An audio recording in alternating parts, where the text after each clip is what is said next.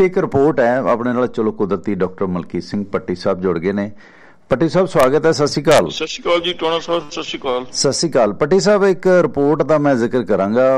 ਉਹ ਰਿਪੋਰਟ ਹੈ ਬੜੇ ਕਮਾਲ ਦੀ ਕਿ ਅਸੀਂ ਜਿਹੜੇ ਸਪਲੀਮੈਂਟ ਲੈਨੇ ਆ ਜਾਂ ਇਹ ਚੀਜ਼ਾਂ ਲੈਨੇ ਆ ਸਾਡੇ ਲਈ ਬੜੀਆਂ ਘਾਤਕ ਨੇ। ਇੱਕ ਜਿਹੜੀ ਰਿਪੋਰਟ ਇਸ ਬਾਰੇ ਖੁਲਾਸਾ ਕਰਦੀ ਹੈ। ਮੈਂ ਰਿਪੋਰਟ ਥੋੜੀ ਜੀ ਪੜ੍ਹਦਾ ਫਿਰ ਤੁਹਾਡੀ ਇਨਪੁਟ ਇਸ ਰਿਪੋਰਟ ਦੇ ਮੁਤਲਕ ਡਾਕਟਰ ਪੱਟੀ ਸਾਹਿਬ ਲੈਣਾ। ਇਹ ਰਿਪੋਰਟ ਉਹਨਾਂ ਵਕਤਾਂ ਦਾ ਵੀ ਜ਼ਿਕਰ ਕਰਾਉਂਦੀ ਹੈ ਜਦੋਂ ਬੱਚਿਆਂ ਨੂੰ ਸਲਾਉਣ ਦੇ ਵਾਸਤੇ ਮਾਵਾਂ ਫੀਮ ਦੇ ਦਿੰਦੀਆਂ ਸਨ। 40 50 ਸਾਲ ਪਹਿਲਾਂ ਇਹ ਸੀਗਾ। ਸਾਡੇ ਵੀ ਮਤਲਬ ਦੱਸਦੇ ਆ ਕਿ ਜਦੋਂ ਮੇਰਾ, ਮੈਂ ਬਚਪਨ ਸੀ, ਮਤਲਬ ਅਫੀਮ ਦੇ ਦਿੰਦੇ ਸੀ ਕਿ ਬੱਚੇ ਨੂੰ ਠੰਡ ਨਾ ਲੱਗੇ, ਜ਼ੁਕਾਮ ਨਾ ਲੱਗੇ, ਸੋਹਣੀ ਨੀਂਦ ਸੌਂ ਲੇ ਇਹ ਰਵਿੱਦ ਉਦੋਂ ਵੀ ਸੀ। ਉਦੋਂ ਵੀ ਬਹੁਤ ਸਾਰੀਆਂ ਬੀਬੀਆਂ ਨੇ ਆਪਣੇ ਜਵਾਕ ਮਾਰ ਲਏ ਨੇ। ਇਸ ਕਰਕੇ ਮੈਂ ਇੱਕ ਕਹਾਣੀ ਵੀ ਪੜ੍ਹੀ ਸੀ ਕਿ ਮਾਵਾ ਵੱਧ ਦਿੱਤਾ ਗਿਆ ਤੇ ਉਹ ਬੱਚਾ ਮਰ ਗਿਆ। ਅਮਰੀਕਾ ਦੇ ਵਿੱਚ ਮਾਤਾ-ਪਿਤਾ ਬੱਚਿਆਂ ਨੂੰ ਨਿਯਮਤ ਰੂਪ ਦੇ ਵਿੱਚ ਡਾਈਟ ਸਪਲੀਮੈਂਟ ਦੇ ਤੌਰ ਤੇ ਮੈਲਾਟੋਨਨ ਦਵਾ ਦਿੰਦੇ ਨੇ। ਡਾਈਟ ਸਪਲੀਮੈਂਟ ਦੇ ਤੌਰ ਤੇ ਇਹ ਜਿਹੜੀ ਮੈਲਾਟੋਨਨ ਕੋਈ ਦਵਾ ਉਹ ਦਿੰਦੇ ਨੇ, ਜਿਸ ਨਾਲ ਬੱਚੇ ਰਾਤ ਨੂੰ ਚੰਗੀ ਨੀਂਦ ਤੇ ਡੂੰਗੀ ਨੀਂਦ ਸੌਂ ਸਕਣ। ਇਸ ਦਾ ਚੱਲਣ ਤੇਜ਼ੀ ਨਾਲ ਵੱਧ ਰਿਹਾ। ਬਿਨਾਂ ਜਾਂਚ ਪਰਖ ਤੋਂ ਇਹ ਸਪਲੀਮੈਂਟ ਕਿੰਨਾ ਸੁਰੱਖਿਅਤ ਹੈ ਤੇ ਪ੍ਰਭਾਵਸ਼ੀਲ ਹੈ, ਇਹ ਨਹੀਂ ਅਸੀਂ ਜਾਣਨਾ ਚਾਹੁੰਦੇ। ਹਾਲਾਂਕਿ ਕਈ ਦੇਸ਼ਾਂ ਦੇ ਵਿੱਚ ਇਹ ਜਿਹੜਾ ਮੈਲਾਟੋਨਨ ਨੂੰ ਲੈਣ ਦੇ ਲਈ ਡਾਕਟਰ ਦੀ ਜਿਹੜੀ ਪ੍ਰੈਸਕ੍ਰਿਪਸ਼ਨ ਯਾਨੀ ਨੁਸਖੇ ਦੀ ਜ਼ਰੂਰਤ ਹੁੰਦੀ ਹੈ, ਲੇਕਿਨ ਅਮਰੀਕਾ ਦੇ ਵਿੱਚ ਅਜਿਹਾ ਨਹੀਂ ਹੈ। ਵੈਸੇ ਐਫਡੀਏ ਨੇ ਹਰ ਉਮਰ ਵਰਗ ਦੇ ਹਿਸਾਬ ਦੇ ਨਾਲ ਹੀ ਦਵਾ ਦੀ ਡੋਜ਼ ਤੈਅ ਕੀਤੀ ਹੋਈ ਹੈ। ਪਰ ਸਪਲੀਮੈਂਟ ਉਸੇ ਮਾਤਰਾ ਦੇ ਵਿੱਚ ਦੇਣਾ ਹੁੰਦਾ, ਲੇਕਿਨ ਅਮਰੀਕਨ ਮਾਪੇ 5 7 5 ਸਾਲ ਤੋਂ ਘੱਟ ਉਮਰ ਦੇ ਬੱਚਿਆਂ ਨੂੰ ਇਹ ਸਪਲੀਮੈਂਟ ਦੇ ਤੌਰ ਤੇ ਤੈਅ ਮਿਆਰਾਂ ਤੋਂ 3-4 ਗੁਣਾ ਜ਼ਿਆਦਾ ਯਾਨੀ 2 ਮਿਲੀਗ੍ਰਾਮ ਤੱਕ ਦੇ ਰਹੇ ਨੇ ਇਹ। ਸੋ ਇਹ ਦਵਾ ਦੇ ਰਹੇ ਨੇ, ਜਿਹੜਾ ਇਹ ਹੈ।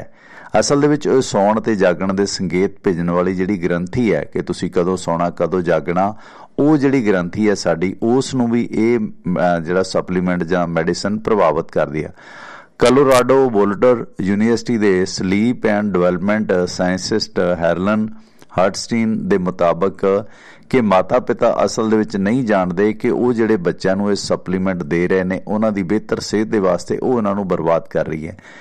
ਤੇ ਇਸ ਦਾ ਜ਼ਿਆਦਾ ਤੇ ਨਿਯਮਤ ਲਗਾਤਾਰ ਇਸਤੇਮਾਲ ਫਿਜ਼ੀਓਲੋਜੀ ਤੇ ਸਕੈਂਡੀਅਨ ਰਿਦਮ ਹੈ ਜਿਹੜੀ, ਉਸ ਤੇ ਸਰੀਰ ਦੇ ਯਾਨੀ ਮਾਨਸਿਕ ਤੇ ਵਿਵਹਾਰਿਕ ਤੌਰ ਤੇ ਜਿਹੜੀਆਂ ਦਿੱਕਤਾਂ ਨੂੰ ਵਧਾਉਂਦਾ ਸਕੈਂਡੀਅਨ ਜਿਹੜੀ ਰਿਦਮ ਹੈ, ਉਹਨਾਂ ਦੇ ਸੌਣ ਤੇ ਜਾਗਣ ਦੀ। ਅਜਿਹੇ ਬੱਚੇ ਕਈ ਨਕਾਰਾਤਮਕ ਪ੍ਰਭਾਵ ਉਹਨਾਂ 'ਚ ਸਾਹਮਣੇ ਆਉਂਦੇ ਨੇ, ਜਿਵੇਂ ਦਿਨ ਭਰ ਉਹ ਸੁਸਤ ਰਹਿੰਦੇ ਨੇ। ਕਈ ਬੱਚੇ ਤਾਂ ਕਲਾਸ 'ਚ ਵੀ ਟੂਲੇ ਲਾਉਂਦੇ ਆ, ਸੌਂਦੇ ਆ ਤੇ ਰਾਤ ਨੂੰ ਉਹਨਾਂ ਦੀ ਨੀਂਦ ਇੰਨੀ ਗਹਿਰੀ ਹੁੰਦੀ ਹੈ ਕਿ ਉਹ ਬਿਸਤਰਾ ਹੀ ਗੱਲਾਂ ਕਰ ਦਿੰਦੇ ਨੇ। ਉਹਨਾਂ ਨੂੰ ਪਤਾ ਹੀ ਨਹੀਂ ਕਿ ਸਾਨੂੰ ਹਾਜਤ ਆ, ਪਿਸ਼ਾਬ ਜਾਣ ਦੀ ਹੈ। ਇਸ ਦੌਰਾਨ ਕਰੀਬ 2.5 ਲੱਖ ਬੱਚੇ ਇਸ ਤੋਂ ਬੁਰੀ ਤਰ੍ਹਾਂ ਪ੍ਰਭਾਵਿਤ ਨੇ। ਕੱਲੇ ਅਮਰੀਕਾ ਦੀ ਰਿਪੋਰਟ ਹੈ। ਦੋ ਬੱਚੇ ਤਾਂ ਓਵਰਡੋਜ਼ ਦੇ ਨਾਲ ਇਸ ਤੇ ਮਾਰੇ ਵੀ ਗਏ ਨੇ। ਤੇ ਇਹ ਸਪਲੀਮੈਂਟ ਸੌਣ ਜਾਗਣ ਦਾ ਜਿਹੜਾ ਕੁਦਰਤੀ ਚੱਕਰ ਹੈ ਸਕੈਂਡੀਨੇਵੀਅਨ ਰਿਦਮ ਹੈ ਜਿਹੜੀ ਉਸ ਨੂੰ ਹਮੇਸ਼ਾ ਲਈ ਪ੍ਰਭਾਵਿਤ ਕਰ ਦਿੰਦਾ ਇਸ ਲਈ ਬੱਚੇ ਇਸ ਸਪਲੀਮੈਂਟ ਦੇ ਨਾਲ, ਉਸ ਦਵਾਈ ਦੇ ਨਾਲ ਸੌਣ ਦੀ ਬਜਾਏ ਖੁਦ ਨੂੰ ਸੌਣ ਤੇ ਉਠਾਉਣ ਦੀ ਆਦਤ ਬਣਾਉਣ ਕਿ ਸਾਡਾ ਉੱਠਣ ਤੇ ਸੌਣ ਦਾ, ਜਾਗਣ ਤੇ ਸੌਣ ਦਾ ਸਮਾਂ ਹੋ ਗਿਆ। ਸੋ ਮਾਰਾਂ ਦਾ ਮੰਨਣਾ ਕਿ ਇਹ ਜਿਹੜਾ ਮੈਲੋਟੋਨਨ ਸਪਲੀਮੈਂਟ ਦਿੱਤਾ ਜਾ ਰਿਹਾ ਬੱਚਿਆਂ ਨੂੰ, ਇਹ ਉਹਨਾਂ ਦੇ ਦਿਮਾਗ ਦੇ ਵਿੱਚ ਜਿਹੜੀ ਪੀਨੀਅਲ ਗਲੈਂਡ ਹੈ ਗ੍ਰੰਥੀ ਹੈ, ਉਹ ਬੁਰੀ ਤਰ੍ਹਾਂ ਪ੍ਰਭਾਵਿਤ ਹੋ ਰਹੀ ਹੈ। ਇਸ ਦੇ ਨਾਲ ਇਸ ਦੇ ਵਿੱਚੋਂ ਨਿਕਲਣ ਵਾਲੇ ਜਿਹੜੇ ਹਾਰਮੋਨ ਨੇ, ਉਹ ਦਿਮਾਗ ਨੂੰ ਸੰਕੇਤ ਦਿੰਦੇ ਨੇ ਇਸ ਗ੍ਰੰਥੀ ਚੋਂ ਨਿਕਲਣ ਵਾਲੇ ਕਿ ਸਰੀਰ ਨੇ ਕਦੋਂ ਸੌਣਾ ਤੇ ਕਦੋਂ ਜਾਗਣ ਦੀ ਜ਼ਰੂਰਤ ਹੈ। ਪਰ ਅਫਸੋਸ ਕਿ ਅਮਰੀਕਾ ਵਰਗੇ ਐਡਵਾਂਸ ਮੁਲਕ ਦੇ ਵਿੱਚ, ਅਣਜਾਣਪਣੇ ਦੇ ਵਿੱਚ ਇਹ ਜਿਹੜਾ ਮੋਲਾਟੋਨਨ ਦੇਣਾ, ਇਹ ਬੱਚਿਆਂ ਦੇ ਲਈ ਜਾਨਲੇਵਾ ਵੀ ਸਾਬਤ ਹੈ, ਜਿਸ ਤਰ੍ਹਾਂ ਦੋ ਬੱਚਿਆਂ ਦੀ ਇਸ ਦੀ ਓਵਰਡੋਜ਼ ਨਾਲ ਮੌਤ ਵੀ ਹੋਈ ਹੈ। ਜੀ, ਡਾਕਟਰ ਸਾਹਿਬ, ਆਪਣੇ ਵੀ ਇਸ ਤਰ੍ਹਾਂ ਦਾ ਬਹੁਤ ਕੁਝ ਚੱਲਦਾ ਹੈ। ਲੋਕੀ ਸੁਣੀਆਂ ਸੁਣਾਈਆਂ ਗੱਲਾਂ ਜਿਹੜਾ ਕਿ ਫਲਾਣੇ ਨੇ ਕਿੱਟੀ ਪਾਰਟੀ 'ਚ ਦਸਤਾ ਬੀਬੀ ਨੂੰ ਤੇ ਬੀਬੀ ਜਾ ਕੇ ਉਹ ਸ਼ੀਸ਼ੀ ਲੈ ਆਈ। ਜਾਂ ਜਿਹੜੀ WhatsApp ਯੂਨੀਵਰਸਿਟੀਆਂ ਚੱਲਦੀਆਂ ਨੇ, ਜਿਹੜੇ ਨੀਮ ਹਕੀਮ ਖਤਰਾ ਜਾਨ ਚੱਲਦੇ ਨੇ ਬਹੁਤ ਸਾਰੇ ਕਿ ਆਹ ਦੇ ਦਿਓ ਆਹ ਦੇ ਦਿਓ, ਉਹ ਵੀ ਚੀਜ਼ਾਂ ਘਾਤਕ ਨੇ। ਜੀ, ਡਾਕਟਰ ਸਾਹਿਬ ਪਲੀਜ਼ ਇਹ ਤੇ ਦਿਓ ਆਪਣੇ ਹੁਣ ਸਾਹਿਬ ਜਿਹੜਾ ਮੈਲਾਟੋਨਨ ਹੈ ਨਾ ਇਹ ਮੈਂ ਤੁਹਾਨੂੰ ਪਹਿਲਾਂ ਵੀ ਕਈ ਵਾਰੀ ਗੱਲ ਕੀਤੀ ਇਹ ਕੁਦਰਤ ਨੇ ਇੱਕ ਸਾਨੂੰ ਐਦਾਂ ਦਾ ਹਾਰਮੋਨ ਦਿੱਤਾ ਵਾ ਕਿ ਜਿੰਨੇ ਰਾਤ ਨੂੰ ਹਨੇਰੇ ਦੇ ਵਿੱਚ ਪੈਦਾ ਹੋਣਾ ਦਾ ਇੱਕ ਆਰਟੀਫੀਸ਼ੀਅਲ ਜਿਹੜੇ ਤਿਆਰ ਤਾਂ ਕਰ ਲਿਆ ਪਰ ਆਰਟੀਫੀਸ਼ੀਅਲ ਦੀ ਲੋੜ ਕਿਉਂ ਪਈ ਹੈ? ਕਿਉਂਕਿ ਅਸੀਂ ਕੁਦਰਤ ਨਾਲੋਂ ਦੂਰ ਹੋ ਕੇ ਕੁਦਰਤੀ ਨੀਂਦ ਨੂੰ ਗਵਾ ਲਿਆ। ਮਤਲਬ ਤੁਸੀਂ ਦਿਨ ਦੇ ਟਾਈਮ ਤੇ ਪੂਰੀ ਰੋਸ਼ਨੀ 'ਚ ਰਹਿੰਦੇ ਹੋ। ਕੁਦਰਤੀ ਦੀ ਜਿਹੜੀ ਰੋਸ਼ਨੀ ਹੈ ਤੇ ਰਾਤ ਨੂੰ ਆਟੋਮੈਟਿਕ ਤੁਹਾਡਾ ਜਿਹੜਾ ਮੈਲਾਟੋਨਨ ਆ ਹਨੇਰੇ ਕਮਰੇ ਦੇ ਵਿੱਚ ਪੈਦਾ ਹੁੰਦਾ। ਮਤਲਬ ਇਹ ਬਿਲਕੁਲ ਡਾਰਕ ਰੱਖਣਾ ਚਾਹੀਦਾ ਰੂਮ ਆਪਾਂ ਜਦੋਂ ਪਹਿਲਾਂ। ਆਪਾਂ ਰਾਤ ਨੂੰ ਵੇਖੋ ਜੀ ਸੁਣਨੇ ਆ ਆਪਾਂ ਕਈ ਵਾਰੀ ਕਹਿੰਦਾ ਕਿ ਨਾ ਤੁਹਾਡਾ ਫੋਨ ਨਾ ਤੁਹਾਡੇ ਕਮਰੇ 'ਚ ਟੀਵੀ ਕੋਈ ਕੰਪਿਊਟਰ ਨਹੀਂ ਹੋਣਾ ਚਾਹੀਦਾ। ਹੂੰ। ਤੁਹਾਡਾ ਨੀਂਦ ਵਾਲਾ ਕਮਰਾ ਸਿਰਫ ਨੀਂਦ ਵਾਸਤੇ ਹੋਣਾ ਚਾਹੀਦਾ। ਹੂੰ। ਬਾਕੀ ਉਹਨਾਂ ਦੇਸ਼ਾਂ ਦਾ ਕਲਚਰ ਕੀ ਆ? ਮੈਂ ਚਲੋ ਉਹਦੇ ਬਾਰੇ ਬਹੁਤਾ ਨਹੀਂ ਕਹਿੰਦਾ ਕਿ ਮੈਂ ਕਦੀ ਗਿਆਨੀ ਜੋ ਪੜਿਆ ਉਹੀ ਆ। ਉਹਨਾਂ ਲੋਕਾਂ ਨੇ ਕਈ ਤਰ੍ਹਾਂ ਦੇ ਹੋਰ ਕੰਮ ਵਾਸਤੇ ਬੱਚੇ ਨੂੰ ਓਵਰ ਕਰਦੇ ਲੇਕਿਨ ਉਹ ਸਾਰਾ ਦਿਨ ਹੀ ਸਲਕੀ ਚਲਾਊਗਾ ਬੱਚਾ। ਮੰਨ ਲਓ ਤੁਸੀਂ ਇੱਕ ਨੀਂਦ ਵਾਲੀ ਕੀ ਛੱਡਿਆ ਕਿ ਜ਼ੁਕਾਮ ਦੀ ਦਵਾਈ ਪਿਲਾਉਂਦੇ ਹੋ ਬੱਚੇ ਨੂੰ ਜਾਂ ਤੁਸੀਂ ਖੁਦ ਵੀ ਜ਼ੁਕਾਮ ਦੀ ਦਵਾਈ ਮੰਨ ਲਓ ਲੈਂਦੇ ਹੋ। ਜੀ। ਤੇ ਤੁਸੀਂ ਸਾਰਾ ਦਿਨ ਕਿ 24 ਘੰਟੇ ਤੱਕ ਤੁਸੀਂ ਪੂਰੇ ਐਕਟਿਵ ਨਹੀਂ ਹੋ ਸਕਦੇ? ਹਾਂ ਉਹ ਤੇ ਲਿਖਿਆ ਹੁੰਦਾ ਸਪੈਸ਼ਲੀ ਡਰਾਈਵਿੰਗ ਨਾ ਕਰੋ। ਡਰਾਈਵਿੰਗ ਜਾਂ ਮਸ਼ੀਨਰੀ ਵਗੈਰਾ ਨੂੰ ਚਲਾਉਣਾ ਅਵੋਇਡ ਕੀਤਾ ਜਾਂਦਾ ਉਹਦੇ। ਹੂੰ। ਤੇ ਇਹ ਇਹ ਜਿਹੜੇ ਹਾਰਮੋਨਸ ਨੇ ਇਹ ਵੀ ਜਿਹੜੇ ਸਾਡੇ ਕੁਦਰਤੀ ਵਰ ਸਿਸਟਮ ਨੂੰ ਪ੍ਰਭਾਵਿਤ ਕਰਦੇ ਆ। ਬਹੁਤ ਜ਼ਿਆਦਾ ਇਸ ਤਰ੍ਹਾਂ ਇਸ ਤਰ੍ਹਾਂ ਦੇ ਸਪਲੀਮੈਂਟ ਡਾਕਟਰ ਸਾਹਿਬ ਇੰਡੀਆ 'ਚ ਆਪਣੇ ਬਹੁਤ ਚੱਲਦੇ ਹੋਣੇ ਮੋਲਟਨ ਬਹੁਤ ਜ਼ਿਆਦਾ ਚੱਲਦੇ ਆ ਜੀ ਇਹ ਤੇ ਹੋਰ ਵੀ ਪਤਾ ਨਹੀਂ ਕੀ ਕੁਝ ਚੱਲੀ ਜਾਂਦੇ ਜੋ ਕਿ ਮੂੰਹ ਚ ਆਇਆ ਉਹ ਬੋਲੀ ਜਾਂਦੇ ਮੇਰੇ ਵਰਗੇ। ਵੇਖੋ ਟਵਾਣਾ ਸਾਹਿਬ ਇਹ ਕੰਪਨੀਆਂ ਕੀ ਪਿੱਛੇ ਕਾਰਪੋਰੇਟਡ ਵਰਲਡ ਇਹਨਾਂ ਦੇ ਵੀ। ਇਸ ਦੇ ਨਾਲ ਨਾਲ ਪਾ ਕੇ ਉਹਨਾਂ ਨੇ ਰੱਖੀ ਉਹਨਾਂ ਰਗੜਾ। ਜਿਹੜੇ ਡਾਕਟਰ ਸਾਹਿਬ ਇਸ ਦੇ ਨਾਲ ਨਾਲ ਆਮ ਬੰਦੇ ਅਗਲਾ ਕਹਿੰਦਾ ਯਾਰ ਨੀਂਦ ਨਹੀਂ ਆਉਂਦੀ ਆਹ ਗੋਲੀ ਲੈ ਲਓ ਆਮ ਜਿਹੜੇ ਬਾਲਗ ਨੇ ਉਹਨਾਂ ਤੇ ਵੀ ਇਸ ਤਰ੍ਹਾਂ ਦੇ ਜਿਹੜੇ ਸਾਲਟ ਨੇ, ਉਹਨਾਂ ਦਾ ਕੀ ਪ੍ਰਭਾਵ ਪੈਂਦਾ ਹੈ? ਬਹੁਤ ਜ਼ਿਆਦਾ ਬੁਰਾ ਅਸਰ। ਕੋਈ ਵੀ ਚੀਜ਼ ਵੇਖੋ, ਤੁਸੀਂ ਲੈਂਦੇ ਹੋ, ਜਿਹੜੇ ਤੁਹਾਡੇ ਕੁਦਰਤੀ ਸਿਸਟਮ ਆ ਜਿਹੜਾ ਕੁਦਰਤ ਦੇ ਨਾਲ ਚੱਲਣਾ ਵਾ, ਜਾਂ ਨੇਚਰਲੀ ਤੁਹਾਡੇ ਸਰੀਰ ਨੇ ਆਪਣੀ ਲੋੜ ਮੁਤਾਬਕ ਉਹਨੂੰ ਖੁਦ ਪੈਦਾ ਕਰਨਾ ਜਾਂ ਖੁਦ ਰੋਕਣਾ ਵਾ, ਉਹਨੂੰ ਬਾਹਰੋਂ ਅਸੀਂ ਪ੍ਰਭਾਵਿਤ ਕਰਾਂਗਾ, ਤਾਂ ਜੋ ਉਹਦਾ ਬੁਰਾ ਅਸਰ ਪੈ ਇਸ ਦੇ ਨਾਲ ਨਾਲ ਡਾਕਟਰ ਸਾਹਿਬ ਥੈਂਕ ਯੂ ਜਿਹੜਾ ਇੱਕ ਬੱਚੇ ਦਾ ਕੇਸ ਹੈ, ਮੈਂ ਥੋੜਾ ਜਿਹਾ ਉਹ ਮਾਨਸਿਕਤਾ ਦੇ ਮੁਤਲਕ ਵੀ ਤੁਹਾਡੇ ਨਾਲ ਇਨਪੁਟ ਚਾਹਾਂਗਾ ਤੁਹਾਡੇ ਆਪਣੇ ਸਵਾਲ ਤੋਂ ਪਹਿਲਾਂ ਕਿ ਜਿਹੜਾ ਸਦਾ ਰੰਗ ਪਿੰਡ ਦੇ ਵਿੱਚ, ਨੰਗਲ ਰੰਗੜ ਦੇ ਵਿੱਚ ਇੱਕ ਬੱਚੇ ਨੇ, ਜਿਹਦੇ ਮਾਪਿਓ ਨੇ ਸੀ, ਕਿਸੇ ਦਾ ਗੋਦ ਲਿਆ ਸੀ, ਉਸ ਨੇ ਗੁਰੂ ਗ੍ਰੰਥ ਸਾਹਿਬ ਦੀ ਬੇਅਦਬੀ ਕੀਤੀ ਹੈ, ਸੀਸੀਟੀਵੀ ਵਿੱਚ ਫੜਿਆ ਗਿਆ। ਪਹਿਲਾਂ ਵੀ ਬੱਚਾ ਆਦਤਨਕਾਰ ਦਾ ਸ਼ੀਸ਼ਾ ਕੇ ਦਾ ਤੋੜਿਆ ਅਗਰੈਸਿਵ ਸੀ, ਗੁਸੈਲ ਸੀਗਾ ਮੋਢੀ ਸੀ, ਯਾਦਾਸ਼ਤ ਵੀ ਥੋੜੀ ਜੀ ਉਹਦੀ ਮਤਲਬ ਬਹੁਤੀ ਨਹੀਂ ਸੀਗੀ ਤੇ ਉਦਾਂ ਸ਼ਰਾਰਤੀ ਵੀ ਸੀਗਾ। ਉਹ ਇਸ ਤਰ੍ਹਾਂ ਦੇ ਮਾਹੌਲ 'ਚ ਪਲਿਆ, ਕੀ ਕਾਰਨ ਹੋ ਸਕਦਾ ਇਸ ਤਰ੍ਹਾਂ ਦੇ ਬੱਚੇ ਦਾ ਬੇਅਦਬੀ ਵੱਲ ਨੂੰ ਜਾਣਾ? ਪੌਣ ਸਾਹਿਬ, ਜਿਹੜੇ ਬੱਚੇ ਅਡਾਪਟ ਕੀਤੇ ਹੁੰਦੇ ਆ ਨਾ, ਉਹ ਆਮ ਬੱਚਿਆਂ ਦੇ ਕੰਪੇਅਰ ਜ਼ਿਆਦਾ ਇਰੀਟੇਟ ਜ਼ਿਆਦਾ ਗੁੱਸੇ ਵਾਲੇ, ਜ਼ਿਆਦਾ ਜਿੱਦ ਵਾਲੇ ਹੁੰਦੇ। ਇਹ ਕੁਦਰਤੀ ਚੀਜ਼। ਹੈ ਲੇਕਿਨ ਇਹਦਾ ਮਤਲਬ ਇਹ ਨਹੀਂ ਹੁੰਦਾ ਕਿ ਉਹਨਾਂ ਨੇ ਕਿਸੇ ਧਾਰਮਿਕ ਸਥਾਨ ਤੇ ਜਾ ਕੇ ਅਪਮਾਨ ਕਰਨਾ। ਇਹਦੇ ਪਿੱਛੇ ਨਾ ਮਤਲਬ ਕਈ ਵਾਰੀ ਨਾ ਕੋਈ ਇਰੀਟੇਸ਼ਨ ਉਸ ਚੀਜ਼ ਨਾਲ ਵੀ ਜੁੜੀ ਹੁੰਦੀ ਹੈ। ਮਤਲਬ ਜਿੱਦਾਂ ਸਪੈਸ਼ਲ ਤੁਸੀਂ ਦੱਸ ਰਹੇ ਮੈਂ ਤੇ ਖਬਰ ਕਿਤੇ ਸੁਣੀ ਨਹੀਂ ਔਰ ਨਾ ਮੇਰੇ ਕੋਲ ਇਹਨਾਂ ਟਾਈਮ ਹੁੰਦਾ। ਹਾਂ ਨਹੀਂ ਪ੍ਰਸ਼ਾਦ ਜਾ ਕੇ ਉਹਨੇ ਕੀਤਾ ਹਾਂ ਗੁਰੂ 12 ਗ੍ਰੰਥ ਸਾਲ ਦਾ ਬੱਚਾ ਸੀ ਕਮਲਦੀਪ। ਮਿੰਟ ਟਾਰਗੇਟ ਆ ਹਾਂਜੀ। ਉਹਦੇ ਪਿੱਛੇ ਹੋ ਸਕਦਾ ਕਿ ਉੱਥੋਂ ਵੀ ਕਿਸੇ ਨੇ ਉਹਨੂੰ ਕੋਈ ਤੇ ਰੋਕਿਆ ਹੋਵੇ ਵੀ ਤੂੰ ਆ ਕੰਮ ਇਦਾਂ ਨਹੀਂ ਹੋਣਾ ਇਦਾਂ ਕਿਉਂ ਹੋਣਾ ਇਦਾਂ ਕਿਉਂ ਜਾਣਾ। ਜਿਵੇਂ ਜਿਵੇਂ ਦੇਖੋ ਡਾਕਟਰ ਸਾਹਿਬ ਉਹ ਗਰੀਬ ਪਰਿਵਾਰ ਸੀਗਾ। ਹੋ ਸਕਦਾ ਮੇਰੀ ਜਜਮੈਂਟ ਗਲਤ ਵੀ ਹੋ ਸਕਦੀ ਕਿ ਜਾਣ ਤੋਂ ਪਹਿਲਾਂ ਉਹਨੇ ਪ੍ਰਸ਼ਾਦ ਤੇ ਥੁੱਕਿਆ। ਹੋ ਸਕਦਾ ਹੈ ਜਿਸ ਤਰ੍ਹਾਂ ਉਹ ਗ੍ਰੰਥੀ ਨੇ ਦੱਸਿਆ ਕਿ ਮੇਰੇ ਬੱਚੇ ਨੇ ਵੀ ਉਸ ਨੂੰ ਇੱਥੋਂ ਭੱਜ ਕੇ ਨਿਕਲਦਾ ਵੇਖਿਆ। ਕਿਉਂਕਿ ਇਸ ਤਰ੍ਹਾਂ ਦੇ ਬੱਚੇ ਨੇ ਉਹਨਾਂ ਦਾ ਖਾਣ ਨੂੰ ਜ਼ਿਆਦਾ ਜੀ ਕਰਦਾ ਹੈ ਕਿ ਕਿਤੇ ਪ੍ਰਸ਼ਾਦ ਤੋਂ ਵਰਜਿਆ ਗਿਆ ਹੋਵੇ। ਇਹ ਗੱਲਾਂ ਵਾਪਰਦੀਆਂ ਨੇ। ਮੈਂ ਹੁਣ ਕਈ ਵਾਰੀ ਖੁੱਲ ਕੇ ਬੋਲੀ ਦਾ ਨਹੀਂ ਨਹੀਂ ਲੋਕ ਬੋਲਣਾ ਦੇਖੋ। ਕਾਰਨ ਸਾਨੂੰ ਪੜਚੋਲਣੇ ਹੋਣਗੇ। ਕਈ ਵਾਰੀ ਅਗਲਾ ਸਾਹਿਬ, ਮੈਂ ਤੁਹਾਨੂੰ। ਇਸੇ ਕਰਕੇ ਫੋਨ ਕੀਤਾ ਸੀ। ਮੈਂ ਕਿ- ਮੈਂ ਐਕਚੁਅਲੀ ਨਾ ਗੱਲ ਇਹ ਚਲੋ ਸਾਰੀ ਆਪਣੀ ਵਿੱਚੇ ਆ ਰਹਿਣੀ ਆ। ਵੇਖੋ ਸਮਾਜ ਵਿਗਿਆਨੀ ਮਾਨਸਿਕ ਰੋਗ ਇਹਨਾਂ ਨੂੰ ਅੱਗੇ ਆਉਣਾ ਚਾਹੀਦਾ। ਸਾਡਾ ਸਮਾਜ ਉਥਲ ਪੁਥਲ ਟਵਾਣਾ ਸਾਹਿਬ ਬਹੁਤ ਜ਼ਿਆਦਾ ਹੋ ਗਿਆ। ਦੇਖੋ ਇਹ ਵੀ ਚਲੋ ਕਿਸੇ ਆਪਾਂ ਗੱਲ ਮੈਂ ਤਾਂ ਪਹਿਲਾਂ ਤੁਹਾਨੂੰ ਕਿਹਾ ਨਾ ਵੀ ਜੋ ਹੋ ਸਕਦਾ ਕਿ ਉੱਥੋਂ ਵੀ ਉਹਨੂੰ ਉਹ ਕਿਸੇ ਨੇ ਅਵੋਇਡ ਕੀਤਾ ਹੋਵੇ ਕਿਸੇ ਗੱਲ ਤੋਂ ਕੋਈ ਝਿੜਕਿਆ। ਹੋਵੇ ਪਹਿਲਾਂ। ਬਿਲਕੁਲ। ਕਿਉਂਕਿ ਜਿਵੇਂ ਇਸ ਤਰ੍ਹਾਂ ਦਾ ਮਾਹੌਲ ਸੀਗਾ ਉਹਨੇ ਕਾਰ ਦਾ ਸ਼ੀਸ਼ਾ ਭੰਨਿਆ ਹੁੰਦੇ ਆ ਇਹ ਬੱਚੇ। ਮਤਲਬ ਜਿਹੜੇ ਇਹਨਾਂ ਨੂੰ ਆਪਣੇ ਆਪ ਨੂੰ ਮਹਿਸੂਸ ਹੁੰਦਾ ਹੁੰਦਾ ਕਿ ਸਾਡੇ ਨੂੰ ਪਿਆਰ ਨ- ਜਾਂ ਮਤਲਬ ਵੀ ਸਮਾਜ ਵੱਲੋਂ ਘੱਟ ਮਿਲ ਰਿਹਾ। ਹੂੰ। ਠੀਕ ਹੈ ਜੀ, ਇਹ ਮਤਲਬ ਉਹ ਹੋ ਸਕਦਾ ਕਿ ਉੱਥੋਂ ਵੀ ਕਿਸੇ ਨੇ ਬੁਰਾ ਭਲਾ ਉਹਨੂੰ ਕਿਹਾ ਹੋਵੇ, ਤੇ ਉਹਨੇ, ਉਹਦਾ ਬਦਲਾ ਲੂ ਭਾਵਨਾ ਦੇ ਵਿੱਚ ਉਹ ਕੀਤਾ ਹੋ ਸਕਦਾ। ਇਹ ਪਹਿਲਾ ਮਾਮਲਾ ਡਾਕਟਰ ਸਾਹਿਬ ਕਿ ਬੇਅਦਬੀ ਦੇ ਦੌਰਾਨ ਕਿਸੇ ਨੇ ਪ੍ਰਸ਼ਾਦ ਤੇ ਜਾ ਕੇ ਥੁੱਕਿਆ ਹੋਵੇ। ਕਿਉਂਕਿ ਉਹ ਰਿਐਕਸ਼ਨ ਹੋ ਸਕਦਾ ਨਾ ਕਿਤੇ ਖਾਣ ਲੱਗਾ ਹੋਵੇ ਤੇ ਕਿਸੇ ਨੇ ਰੋਕਿਆ ਹੋਵੇ ਪਹਿਲਾਂ ਜਾਂ ਉਦੋਂ ਜਾਂ ਉਦੋਂ ਦੋ ਚਾਰ ਦਿਨ ਪਹਿਲਾਂ ਕਿਤੇ। ਜਾਂ ਜ਼ਿਆਦਾ ਨਾ ਦਿੱਤਾ ਹੋਵੇ ਉਹ ਜ਼ਿਆਦਾ ਜ਼ਿਆਦਾ ਮੰਗਦਾ ਨਾ ਹੋਵੇ। ਦਿੱਤਾ ਹੋਵੇ ਕੋਈ 100 ਗੱਲਾਂ ਹੋ ਜਾਂਦੀਆਂ ਨਾ। ਕਿਉਂਕਿ ਇਹ ਗੱਲ ਤੁਸੀਂ ਜਿਹੜਾ ਵੈਸੇ ਵੀ ਮੀਡੀਆ ਨੂੰ ਜ਼ਿਆਦਾ ਪਸੰਦ ਕਰਦਾ। ਜਿਨ੍ਹਾਂ ਨੇ ਵੀ ਸਵਾਲ ਪੁੱਛੇ ਨੇ ਉਹਦੇ ਮਾਪਿਆਂ ਨੂੰ ਜਾਂ ਹੋਰਾਂ ਨੂੰ ਉਹ ਐਂਗਲ ਨਹੀਂ। ਉਹ ਕਿੰਨਵੀਂ ਚ ਪੜਦਾ ਸੀ ਕੀ ਕਰਦਾ ਸੀ ਜਿਹੜਾ ਤੁਸੀਂ ਪੁਆਇੰਟ ਹੈ ਕਿ ਉਹ ਪ੍ਰਸ਼ਾਦ ਤੇ ਹੀ ਕਿਉਂ ਥੁੱਕਦਾ ਜਾਣਸਾਰ ਜਾਂ ਉਸ- ਮੈਂ ਉਸ ਨਹੀਂ ਤੁਹਾਡਾ ਨਾ ਲਾਈਕ ਨੇ। ਕਰਦਾ। ਜਾਂ ਤਾਂ ਉਹਦੇ ਤੇ ਕੋਈ ਕਈ ਇਸ ਤਰ੍ਹਾਂ ਦਾ ਉਹਦੀ ਕਿਹੜ ਪ੍ਰਸ਼ਾਦ ਤੋਂ ਸ਼ੁਰੂ ਹੁੰਦੀ ਹੈ? ਜੇ ਉਹਦੀ ਹਾਂ।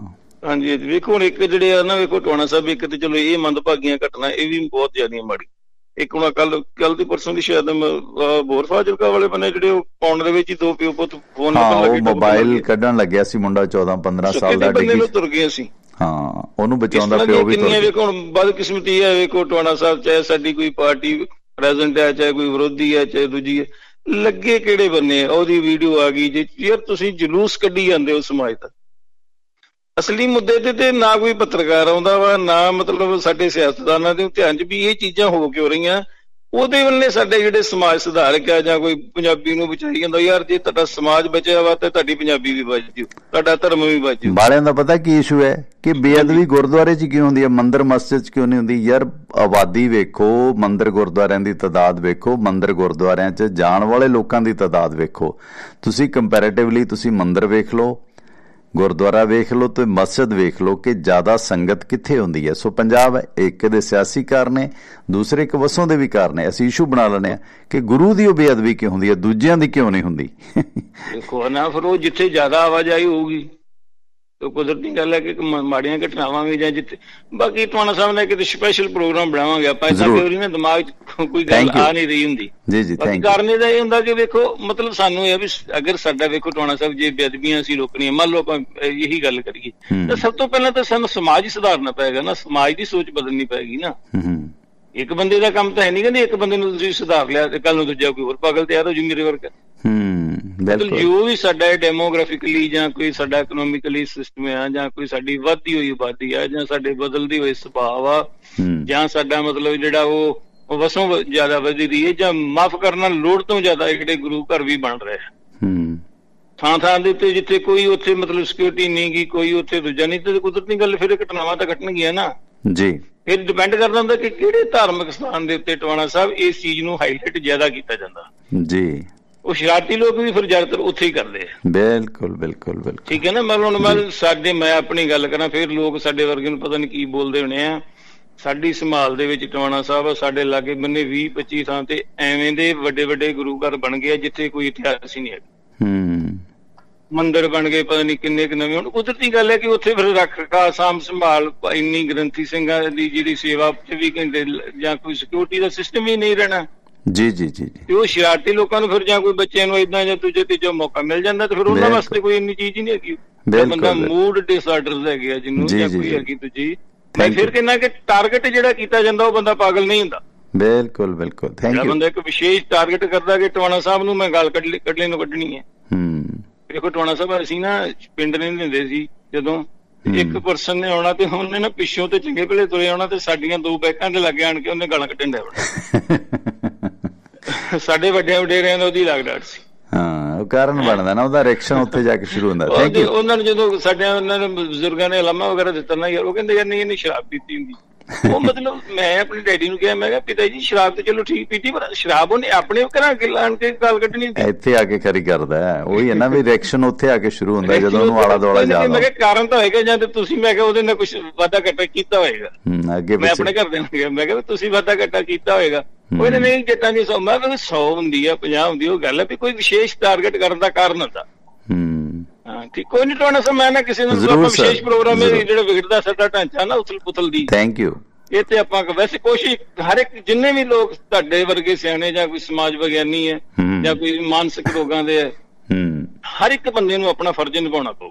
ਥੈਂਕ ਯੂ ਜੀ ਮਿਹਰਬਾਨੀ। ਸਰਕਾਰਾਂ ਸਾਡੀਆਂ ਨੂੰ ਸਿਰ ਧੋਣਾ ਪਊ ਇਹ ਐਵੇਂ ਦੇ ਜੇ ਸਾਡਾ ਸਮਾਜ ਵੀ ਕੋਈ ਸੁਧਰਿਆ ਨਾ ਤੁਹਾਡਾ ਸਭ ਲੁੱਟਾਂ ਖੋਹਾਂ ਕੱਟ ਜਾਣੀ ਥੈਂਕ ਯੂ ਡਾਕਟਰ ਸਾਹਿਬ ਬਿਲਕੁਲ ਕੱਟ ਜਾਣੀ ਥੈਂਕ ਯੂ ਡਾਕਟਰ ਸਾਹਿਬ ਬਹੁਤ ਬਹੁਤ ਮਿਹਰਬਾਨੀ ਸਰ ਥੈਂਕ ਯੂ ਤੁਸੀਂ ਬਾਹਰ ਹੋਏ ਫਿਰਦੇ thank you sir thank you. Sat Sri Akal ਤੇ ਇੱਕ ਰਿਪੋਰਟ ਦੇ ਨਾਲ ਹੀ ਮੈਂ ਹੋਰ ਸਾਂਝੀ ਕਰਾਂਗੇ ਆਪਾਂ ਲੱਗ ਤੋਂ ਪਾਵਾਂਗੇ ਸੋ ਮੌਸਮ ਬਦਲਾਅ ਨਾਲ ਜੁੜੀਆਂ 91% ਦੀ ਮੌਤਾਂ ਵਿਕਾਸਸ਼ੀਲ ਦੇਸ਼ਾਂ 'ਚ ਹੁੰਦੀਆਂ ਨੇ 1% ਦੀ ਅਮੀਰਾਂ ਦਾ ਕਾਰਬਨ ਉਤਸਰਜਨ 66% ਦੀ ਗਰੀਬਾਂ ਤੋਂ ਜ਼ਿਆਦਾ ਆ 13 ਲੱਖ ਮੌਤਾਂ ਦਾ ਕਾਰਨ ਬਣਨ ਦੇ ਲਈ ਇਹ ਕਾਫੀ ਹੈ ਯਾਨੀ ਕਿ ਅਮੀਰ ਵੀ ਜ਼ਿਆਦਾ ਜਿਹੜਾ ਹੈਗਾ ਨਾ, ਪ੍ਰਦੂਸ਼ਣ ਫੈਲਾਉਂਦੇ ਨੇ।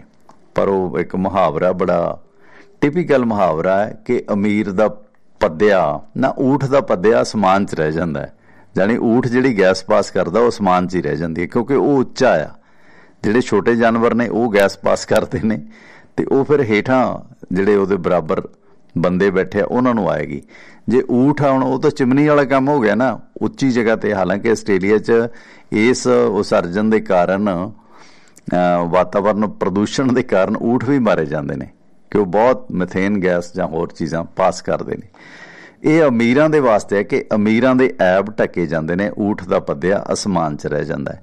ਦੁਨੀਆ ਦੇ 1% ਦੀ ਅਮੀਰ 66% ਦੀ ਗਰੀਬਾਂ ਦੀ ਤੁਲਨਾ ਦੇ ਵਿੱਚ ਜ਼ਿਆਦਾ ਪ੍ਰਦੂਸ਼ਣ ਫੈਲਾਉਂਦੇ ਨੇ, ਕਾਰਬਨ ਉਸਰਜਨ ਕਰਨ ਦੇ ਲਈ ਜ਼ਿੰਮੇਵਾਰ ਨੇ। ਸਟਾਕਹੋਮ এনवायरमेंट ਇੰਸਟੀਚਿਊਟ ਐਕਸਫਾਰਮ ਅਤੇ ਕੁਝ ਹੋਰ ਵਿਸ਼ੇਸ਼ਗਾਂ ਦੁਆਰਾ ਵਿਸ਼ਵ ਜਲਵਾਯੂ ਅਸਮਾਨਤਾ ਦੇ ਬਾਰੇ ਜਿਹੜਾ ਇੱਕ ਵਿਆਪਕ ਅਧਿਐਨ ਕੀਤਾ ਗਿਆ, ਉਸ ਦੇ ਵਿੱਚ ਦਾ ਗ੍ਰੇਟ ਕਾਰਬਨ ਡਿਵਾਈਡ ਦੇ ਅਨੁਸਾਰ ਸਭ ਤੋਂ ਜ਼ਿਆਦਾ 1% ਅਮੀਰ ਦੁਆਰਾ, ਲੋਕਾਂ ਦੁਆਰਾ ਸਾਲ 2019 ਦੇ ਵਿੱਚ ਕੀਤਾ ਗਿਆ 590 ਕਰੋੜ ਟਨ ਕਾਰਬਨ ਉਸਰਜਨ ਆਉਣ ਵਾਲੇ ਦਹਾਕਿਆਂ ਤੱਕ 13 ਲੱਖ ਲੋਕਾਂ ਦੀ ਗਰਮੀ ਨਾਲ ਸੰਬੰਧਿਤ ਮੌਤਾਂ ਦਾ ਕਾਰਨ ਬਣਨ ਲਈ ਕਾਫੀ ਹੋਏਗਾ। ਯਾਨੀ ਕਿ ਦੁਨੀਆ ਦੇ 1% ਦੀ ਅਮੀਰ ਲੋਕਾਂ ਦੁਆਰਾ 2019 ਚ ਜਿਹੜਾ 590 ਕਰੋੜ ਟਨ ਕਾਰਬਨ ਛੱਡਿਆ ਗਿਆ, ਉਹ 13 ਲੱਖ ਲੋਕਾਂ ਦੀ ਗਰਮੀ ਨਾਲ ਸੰਬੰਧਿਤ ਮੌਤਾਂ ਦਾ ਕਾਰਨ ਬਣੇਗਾ ਆਉਣ ਵਾਲੇ ਦਹਾਕਿਆਂ ਦੇ ਵਿੱਚ।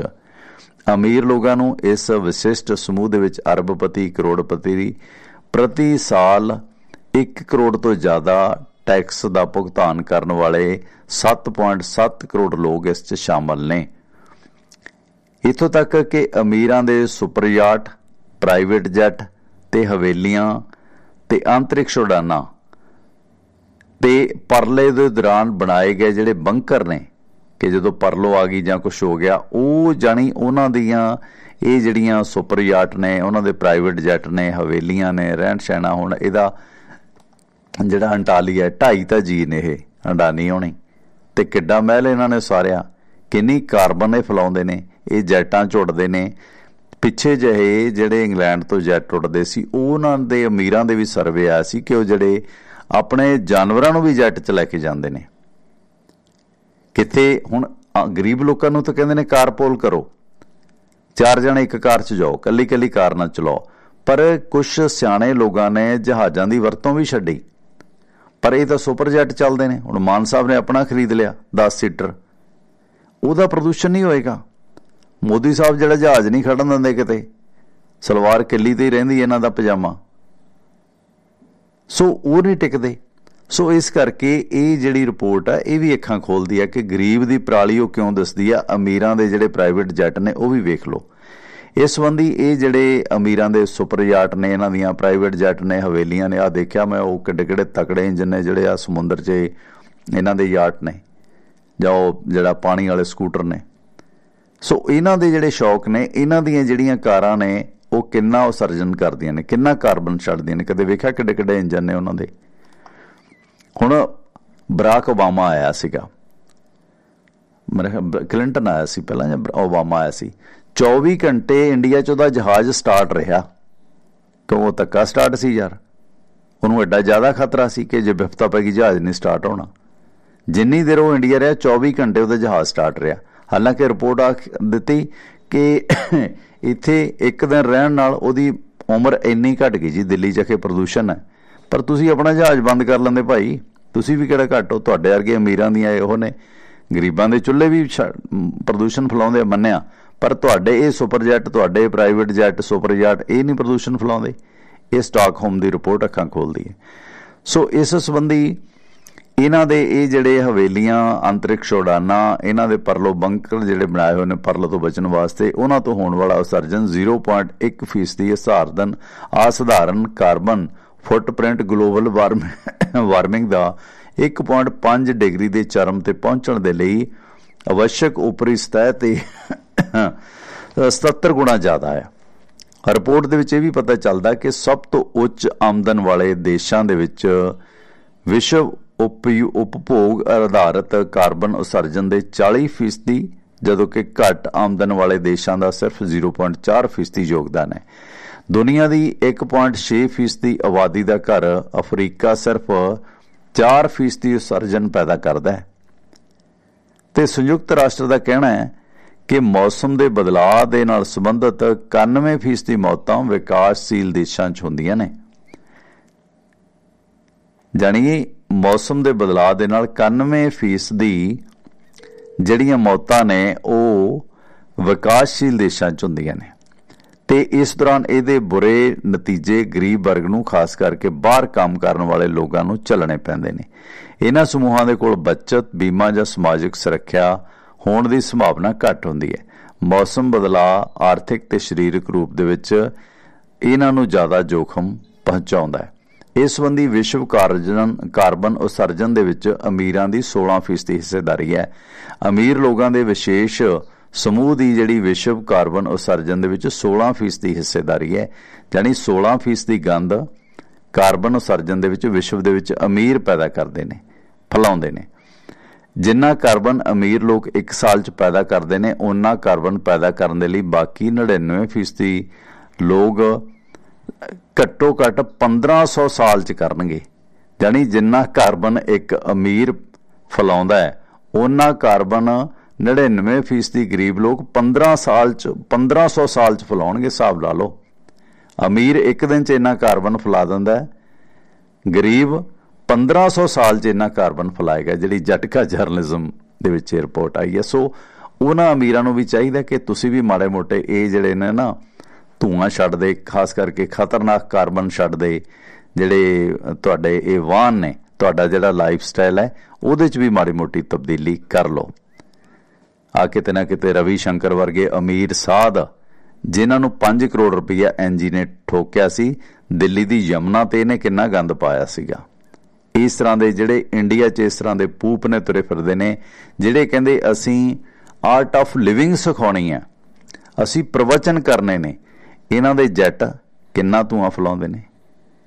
ਹੁਣ ਤੁਸੀਂ ਵੇਖੋ, ਫਿਰ ਕਈਆਂ ਨੂੰ ਰਾਧਾ ਸਵਾਮੀ ਨੂੰ ਤਕਲੀਫ ਹੋਣੀ ਆ ਮੋਹਨ ਭਾਗਵਤ ਰੇਲ 'ਚ ਮਾਨਸਾ ਆਇਆ। 2-3 ਸਾਲ ਪਹਿਲਾਂ। ਤੇ ਡੇਰਾ ਬਿਆਸ ਮੁਖੀ ਗੁਰਿੰਦਰ ਸਿੰਘ ਢਿੱਲੋਂ ਜੀ, ਬਿਆਸ ਤੋਂ ਮਾਨਸਾ ਤੱਕ ਆਪਣੇ ਪ੍ਰਾਈਵੇਟ ਜੈਟ ਦੇ ਵਿੱਚ ਆਏ ਚਾਰਟਰ ਪਲੇਨ ਦੇ ਵਿੱਚ ਆਏ। ਤੇ ਉੱਥੇ ਉਹ ਬਿਆਨ ਦਿੰਦੇ ਨੇ ਕਿ ਮੈਂ ਮੋਹਨ ਭਾਗਵਤ ਜੀ ਦੀ ਸਾਦਗੀ ਤੋਂ ਬਹੁਤ ਪ੍ਰਭਾਵਿਤ ਹਾਂ। ਤੁਸੀਂ ਵੀ ਆਪਣੀ ਕਾਰ ਲੈ ਕੇ ਆ ਜਾਂਦੇ, ਤੁਸੀਂ ਤਾਂ ਧਾਰਮਿਕ ਲੋਕ ਹੋ ਸਿਕਿਉਰਿਟੀ ਵੀ ਅੱਗੇ ਪਿੱਛੇ ਹੈ, ਨਾਲੇ ਆਪਣੇ ਡੇਰੇ ਵੇਖਦੇ ਜਾਂਦੇ, ਸਮਰੀਤ ਮਾਨ ਨੂੰ ਨਾਲ ਬਿਠਾ ਕੇ ਜਾਂ ਹੋਰਾਂ ਨੂੰ। ਤੁਸੀਂ ਆਪਣਾ ਪ੍ਰਾਈਵੇਟ ਜਹਾਜ਼ ਲੈ ਕੇ ਬਿਆਸ ਤੋਂ ਮਾਨਸਾ ਤੱਕ ਆਉਂਦੇ ਹੋ। ਉੱਥੇ ਫਿਰ ਬਿਆਨ ਦਿੰਦੇ ਹੋ ਕਿ ਮੈਂ ਮੋਹਨ ਭਾਗਵਤ ਦੀ ਸਾਦਗੀ ਤੋਂ ਬਹੁਤ ਪ੍ਰਭਾਵਿਤ ਹਾਂ, ਬਹੁਤ ਸਾਦਾ ਰਹਿੰਦੇ ਨੇ। ਮੋਹਨ ਭਾਗਵਤ ਜੀ ਦੀ ਸਾਦਗੀ ਵਾਂਗੂ ਤੁਸੀਂ ਵੀ ਫਿਰ ਪ੍ਰਵਚਨ ਕਰ ਲਓ ਉਹਨਾਂ ਵਾਂਗੂ। ਸੋ ਫਿਰ ਡੇਰੇ ਵਾਲੇ ਕਹਿਣਗੇ, ਸਾਡੇ ਬਾਬੇ ਜੀ ਦੀ ਤੁਸੀਂ ਇਹ ਗੱਲ ਕਿਉਂ ਕਰਦੇ ਹੋ? ਇੱਕ ਵਾਰ ਹੋ ਗਿਆ, ਦੋ ਵਾਰ ਹੋ ਗਿਆ। ਯਾਰ, ਤੁਸੀਂ ਲੋਕ ਟ੍ਰੈਂਡ ਸੈਟਰ ਹੋ। ਤੁਸੀਂ ਮਿਆਰ ਸੈੱਟ ਕਰਨੇ ਨੇ ਸੁਸਾਇਟੀ ਦੇ, ਤੁਹਾਡੇ ਲੱਖਾਂ ਫਾਲੋਅਰ ਨੇ। ਤੁਸੀਂ ਉਹਨਾਂ ਨੂੰ ਇਹ ਗੱਲ ਸਮਝਾਉਣੀ ਹੈ ਕਿ ਭਾਈ ਆ ਨਹੀਂ ਆ ਕਰਨਾ। ਤੁਸੀਂ ਯਾਰ ਉਹ ਪ੍ਰਲੋਕ ਦੀਆਂ ਗੱਲਾਂ ਕਰੀ ਜਾਂਦੇ ਹੋ। ਲੋਕ ਸੁਖੀ, ਪ੍ਰਲੋਕ ਸੋਹਿਲਾ। ਪਹਿਲਾਂ ਇਹ ਲੋਕ ਸੁਧਾਰ ਲਓ, ਪ੍ਰਲੋਕ ਆਪੇ ਸੁਧਾਰਿਆ ਜਾਊ। ਪਰ ਇਹ ਧਰਮ ਦੇ ਨਾਂ ਤੇ ਡਰਾਮੇ ਹੋ ਰਹੇ ਨੇ, ਜਿਸ ਦਾ ਬਹੁਤ ਦੁੱਖ ਹੈ। ਟਵਾਣਾ ਰੇਡੀ ਦੇ ਪ੍ਰੋਗਰਾਮ ਨੂੰ ਸੋਮਵਾਰ ਤੋਂ ਸ਼ਨੀਵਾਰ ਸਵੇਰੇ 7 ਤੋਂ 9 ਤੇ ਸ਼ਾਮੀ 7:30 ਤੋਂ 9:30 ਤੁਸੀਂ ਲਾਈਵ ਸੁਣਦੇ ਹੋ ਆਪਣੀ ਵੈਬਸਾਈਟ tiwanaradio.com ਕੁਝ ਆਪਾਂ ਵੀਡੀਓ ਪ੍ਰੋਗਰਾਮ ਪਾਉਨੇ ਆ ਤੇ ਉਹਨਾਂ ਵੀਡੀਓ ਦੇ ਲਿੰਕ ਤੇ ਇਹਨਾਂ ਰੇਡੀਓ ਪ੍ਰੋਗਰਾਮਾਂ ਦੇ ਲਿੰਕ ਤੁਸੀਂ ਆਪਣੇ WhatsApp ਨੰਬਰ ਤੇ ਮੰਗਵਾ ਸਕਦੇ ਹੋ।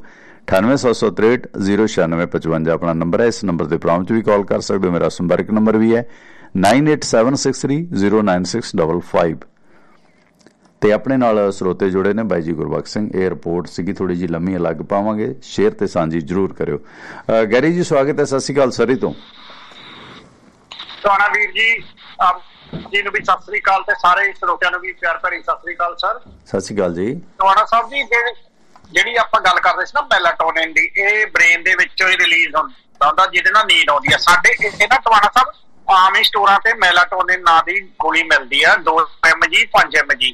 ਜਿਹੜੀ ਕਿ ਕੋਈ ਵੀ ਬੰਦਾ ਬਾਏ ਕਰ ਸਕਦਾ ਮਤਲਬ ਕੋਈ ਉਹਦੀ ਪ੍ਰਿਸਕ੍ਰਿਪਸ਼ਨ ਨਹੀਂ ਹੈਗੀ। ਤੇ ਤੁਸੀਂ ਬਲੀਵ ਕਰੋ ਟਵਾਣਾ ਸਾਹਿਬ ਉਹਨੂੰ ਕੀ ਕਰਨਾ ਹੁੰਦਾ ਵੀ ਉਹ ਲੈ ਕੇ ਤੁਸੀਂ ਜੀਭ ਥੱਲੇ ਰੱਖ ਲਓ। ਤੇ ਜਿਵੇਂ ਮਤਲਬ ਜਿਵੇਂ ਆਪਾਂ ਸੌਂਦੇ ਆ ਜੀਭ ਥੱਲੇ ਰੱਖ ਲਓ ਟਵਾਣਾ ਸਾਹਿਬ ਤੁਹਾਨੂੰ ਪਤਾ ਹੀ ਲੱਗਦਾ ਨੀਂਦ ਕਦੋਂ ਆ ਗਈ। ਤੇ ਤੁਸੀਂ ਇੰਨੀ ਗਹਿਰੀ ਨੀਂਦ ਚਲੇ ਜਾਓਗੇ ਨਾ ਵੀ ਮਤਲਬ ਵੀ ਪਤਾ ਹੀ ਨਹੀਂ ਲੱਗਣਾ ਵੀ ਤੁਹਾਡੇ ਚੋਰ ਵੀ ਆ ਕੇ ਘਰੋਂ ਚੋਰੀ ਕਰਕੇ ਲੈ ਜਾਣ। ਪਰ ਇਹ ਇਹਦੇ ਰਿਜ਼ਲਟ ਬਹੁਤ ਮਾੜੇ ਆ ਪਿੱਛੋਂ ਜਾ ਕੇ ਬਹੁਤ ਮਾੜੇ ਰਿਜ਼ਲਟ ਇਹਦੇ। ਹਾਂਜੀ। ਹੂੰ। ਹਾਂਜੀ ਸਰ ਮੈਂ ਨਾ ਇਹ ਐਡਿਕਟਿਵ ਹੈ ਮੈਂ ਲੱਗ ਗਿਆ ਸੀ। ਟਵਾਣਾ ਸਾਹਿਬ ਜਿਹੜੇ ਮੁੰਡੇ ਟਰੱਕਾਂ ਤੇ ਜਾਂਦੇ ਆਮ ਹੀ ਖਾਂਦੇ ਕਿਉਂਕਿ ਘੰਟੇ ਵੱਧ ਚਲਾਉਂਦੇ ਆ ਹਨਾ? ਫਿਰ ਦਿਮਾਗ ਨੂੰ ਰੈਸਟ ਤਾਂ ਚਾਹੀਦੀ ਹੈ ਤੇ ਮੈਂ ਲੱਗ ਗਿਆ ਸੀ ਟਵਾਣਾ ਸਾਹਿਬ ਇਹ ਦਿਮਾਗ- ਗੋਲੀ ਖਾਂਦੇ ਆ, ਮੈਂ ਇੱਕ ਇਹ ਦਿਮਾਗ ਅਤੇ ਦਿਲ ਲਈ ਬਹੁਤ ਘਾਤਕ ਹੈ ਤੁਹਾਡੇ ਵਿਵਹਾਰ ਲਈ ਵੀ ਬਹੁਤ ਘਾਤਕ ਹੈ। ਜੀ। ਹਾਂਜੀ ਸਰ ਮੈਂ ਤੁਹਾਨੂੰ ਦੱਸਦਾ ਜੀ ਮੈਂ ਲੱਗ ਗਿਆ ਤੇ ਟਵਾਣਾ ਸਾਹਿਬ ਮੈਂ ਜੀਵ ਥੱਲੇ ਰੱਖਣੀ ਨੀਂਦ ਬੜੀ ਆ ਜਾਣੀ। ਮੈਂ ਕਹਣਾ ਯਾਰ ਆ ਤਾਂ ਨਜ਼ਾਰਾ ਉਸ ਤੋਂ ਬਾਅਦ ਜੀ ਇਹੋ ਜਿਹੀ ਆਦਤ ਪੈ ਗਈ ਟਵਾਣਾ ਸਾਹਿਬ ਜੇ ਗੋਲੀ ਨਾ ਆਉਣੀ ਨੀਂਦ ਨਾ ਆਉਣੀ। ਮੈਂ ਨਹੀਂ ਯਾਰ ਆ ਤਾਂ ਪੰਗਾ ਹੀ ਲੈ ਲਿਆ। ਹੌਲੀ ਹੌਲੀ ਛੱਡੀ ਜੀ ਟਵਾਣਾ ਸਾਹਿਬ ਬਹੁਤ ਇਹ ਗੰਦੀ ਗੋਲੀ ਆ। ਪਰ ਉਹ ਠੀਕ ਆ ਕਿ ਜੇ ਕਿਤੇ ਫੰਕਸ਼ਨ ਆਵਾਜ਼ ਤੁਸੀਂ ਯੂਜ਼ ਕਰਦੇ ਕਦੇ ਤਾਂ ਉਹ ਨਹੀਂ ਤੁਹਾਨੂੰ, ਦਿਮਾਗ ਹਾਂ। ਜਿਵੇਂ ਤੁਹਾਡਾ ਰੈਸਟ ਮੰਗਦਾ। ਹਾਂ ਉਹਦੇ ਲਈ ਠੀਕ ਹੈ ਪਰ ਬੱਚਿਆਂ ਨੂੰ ਨਹੀਂ ਦੇਣੀ ਬੱਚਿਆਂ ਨੂੰ ਨਹੀਂ ਦੇਣੀ ਚਾਹੀਦੀ। ਟਵਾਣਾ ਸਾਹਿਬ ਦੂਜੀ ਇੱਕ ਗੱਲ ਹੋਰ ਹੈ ਬਾਬਾ ਜੀ ਨੂੰ ਫੇਰ ਫਰਲੋ ਦੇਤੀ ਜੀ ਇਹਨਾਂ ਨੇ 15 ਦੇ। ਨਾਲ ਹੀ ਰਾਤੀ ਰਾਤ ਵਾਲੇ ਸ਼ੋਅ 'ਚ ਆਪਾਂ ਡਿਟੇਲ 'ਚ ਗੱਲ ਕੀਤੀ ਸੀ ਉਹਦੇ ਬਾਰੇ ਫਿਰ ਇਸ ਕਰਕੇ ਅੱਜ ਨਹੀਂ ਛੇੜੀ ਦਾ ਠੀਕ ਹੈ ਹਾਂਜੀ ਹਾਂਜੀ। ਤੇ ਦੇਖ ਲਓ ਜੀ ਉਹਨੂੰ ਵੀ ਦੇਤੀ ਆ ਫਿਰ ਉਹ ਰਾਜਸਥਾਨ ਕਰ ਰਾਜਸਥਾਨ ਤੇ ਡੇਰੇ ਜਿਹੜੀ ਆਹ ਗੱਲ ਕਰਦੇ ਸੀ ਅੱਜ ਤੁਸੀਂ ਪਾਣੀ ਵਾਲੀ ਗੱਲ ਕਰਦੇ ਸੀ ਮੈਂ ਥੋੜਾ ਲੇਟ ਰੇਡੀਓ ਔਨ ਕੀਤਾ ਜਿਵੇਂ ਵੀ ਕਹਿੰਦੇ 2.5 ਕਿੱਲੇ ਤੋਂ ਘੱਟ ਨਹੀਂ ਹੋਣਾ ਬੋਰ ਨਹੀਂ ਮਿਲੂਗਾ ਤੇ ਹੁਣ ਜੇ ਕਿਸੇ ਗਰੀਬ ਕੋਲੇ 1 ਕਿੱਲਾ ਜ਼ਮੀਨ ਦਾ ਨਾਮ ਬੋਰ ਕਰ ਸਕਦਾ ਜੀ ਉਹ ਤਾਂ ਗਵਾਂਢੀ ਨੂੰ ਵੇਚੂਗਾ।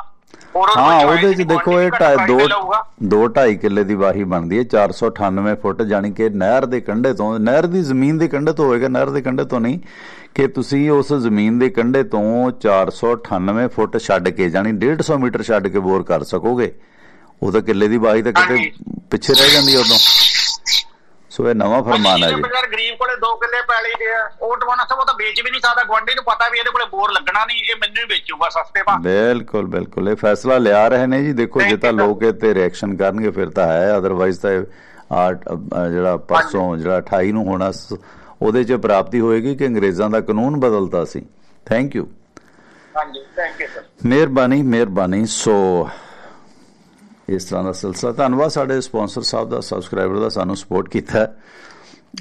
ਸਿੰਘ ਗਰੇਵਾਲ ਹੋਰਾਂ ਨੇ ਜਰਮਨ ਤੋਂ ਇਹ ਜਿਹੜੀਆਂ ਇਕੱਠੀ ਸਬਸਕ੍ਰਿਪਸ਼ਨ ਆ ਜਾਂਦੀ ਹੈ, ਭਾਨ ਸਿੰਘ ਗਰੇਵਾਲ ਹੋਰਾਂ ਦਾ ਯੂਐਸਏ ਤੋਂ, ਕਮਲਜੀਤ ਵਿੱਕੀ ਟੋੜਾ ਜੀ ਥੈਂਕ ਯੂ ਤੇ ਓਂਕਾਰ ਸਿੰਘ ਯੂਐਸਏ ਤੋਂ, ਤੇ ਪਰਮਜੀਤ ਸਿੰਘ ਕਾਲੋਂ ਯੂਐਸ ਤੋਂ ਬਾਈ ਜੀ, ਤੇ ਜਤਿੰਦਰ ਸਿੰਘ ਹੰਸਰਾ ਸਾਹਿਬ ਕਮਾਲਪੁਰਾ ਤੇ ਇਹਨਾਂ ਦੀ ਟੀਮ ਵੈਨਕੂਵਰ ਤੋਂ ਪੁਰਾਣੇ ਸਮ- ਆਪਣੇ ਸਬਸਕ੍ਰਾਈਬਰ ਨੇ।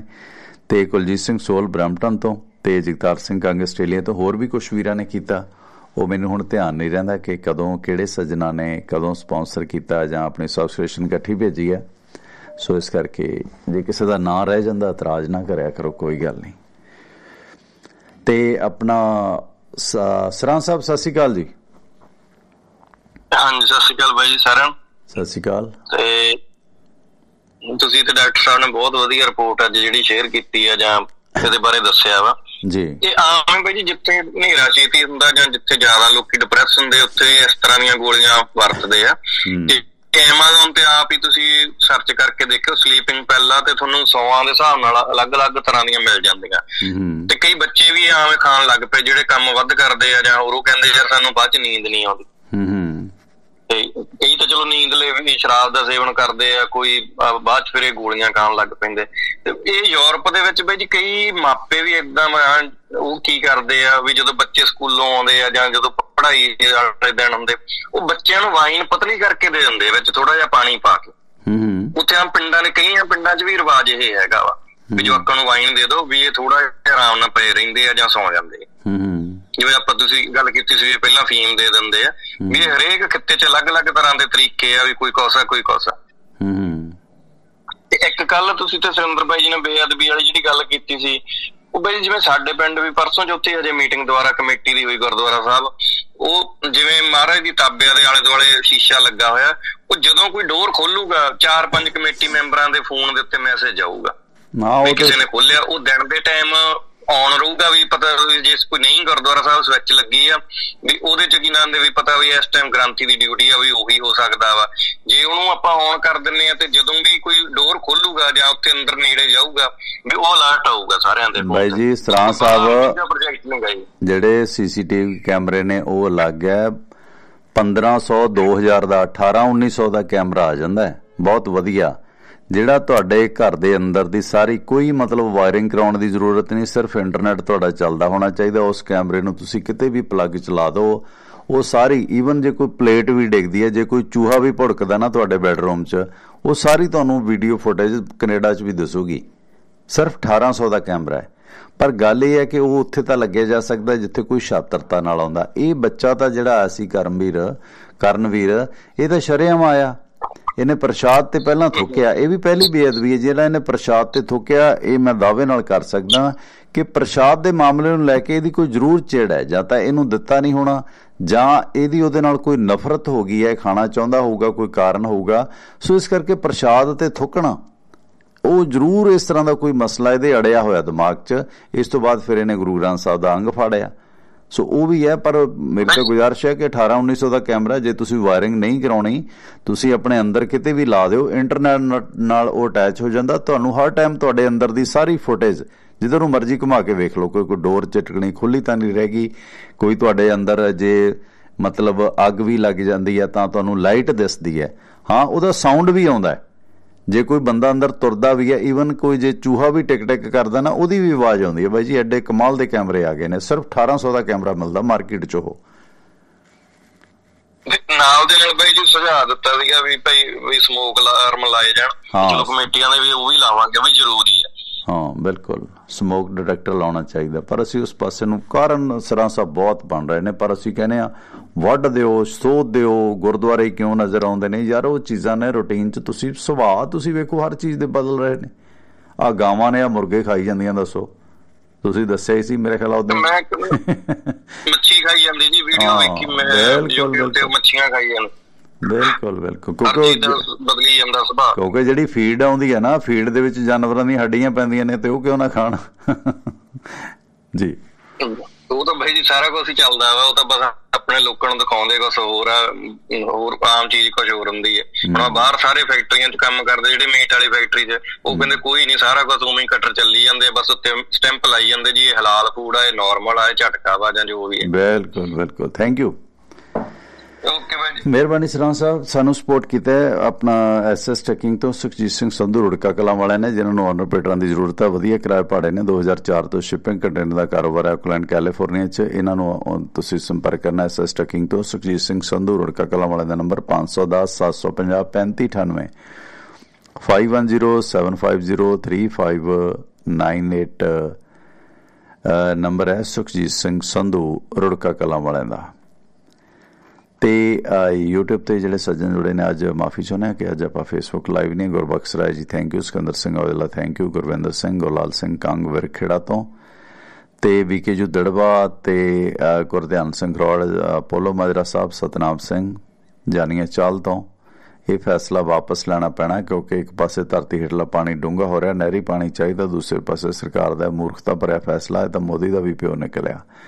ਬਲਜਿੰਦਰ ਸਿੰਘ ਮੌੜ ਸਾਹਿਬ, ਬਾਈ ਜੀ ਆਪਣੇ ਸਬਸਕ੍ਰਾਈਬਰ ਵੀ ਨੇ, Sikandar Singh Aujla thank you Jagsir Singh thank you Jora Singh thank you Muhammad Ahmad Ansari Sahib, ਤੇ Rajiv Kumar ji thank you Manjeet Singh Flora advocate Sahib, Baljit Singh Bal thank you Dalvir Singh, Karamvir Singh Gill, Sikandar Singh Aujla, Nirmal Singh ਕਹਿੰਦੇ 2.5 ਕਿਲੇ ਦੂਰੀ ਬਣਦੀ ਹੈ ਜੀ, ਇਹ 150 metre, ਦਮਨ ਸ਼ੇਰਗਿੱਲ ਸਾਹਿਬ ਤੇ ਸ਼ੇਰਗਿੱਲ ਸਾਹਿਬ ਮੇਰੇ ਖਿਆਲ ਮੋਹਾਲੀ ਵਾਲੇ, ਨੀਰਜ ਸੈਣੀ ਸਾਹਿਬ, ਬਲਜੀਤ ਸਿੰਘ ਬਲ ਤੇ Lalatpuri ji thank you Jagdish Singh ST Ropar ਤੋਂ ਜਗਦੀਸ਼ ਜੀ ਐਸਟੀ ਰੋਪੜ ਤੋਂ ਰਾਜਨ ਸੈਣੀ ਸਾਹਿਬ ਨਿਰਮਲ ਭੁੱਲਰ ਅਵਤਾਰ ਸਿੰਘ ਕੁਲਾਰ ਲਖਵੀਰ ਸਿੰਘ ਜਲਾਲ ਬਲਵੰਤ ਸਿੰਘ ਪੈਂਡਾਨੀ ਹਰਵਿੰਦਰ ਜੋਲ ਸਪੋਰਟ ਕਰਦੇ ਨੇ ਤੇ ਇਕਬਾਲ ਸਿੰਘ ਮਾਨ ਥੈਂਕ ਯੂ ਭਗਵਾਨ ਅ, ਪਾਨ ਸਿੰਘ ਰੇਵਲ ਸਾਹਿਬ ਸਬਸਕ੍ਰਾਈਬਰ ਨੇ ਆਪਣੇ ਪੁਰਾਣੇ ਤੇ ਇਕਬਾਲ ਸਿੰਘ ਮਾਨ ਥੈਂਕ ਯੂ ਬਲਵੰਤ ਸਿੰਘ ਤੇ ਸੁਖਜਿੰਦਰ ਸਿੰਘ ਕੁਲਦੀਪ ਸਿੰਘ ਅ, ਤੇ ਆਪਣਾ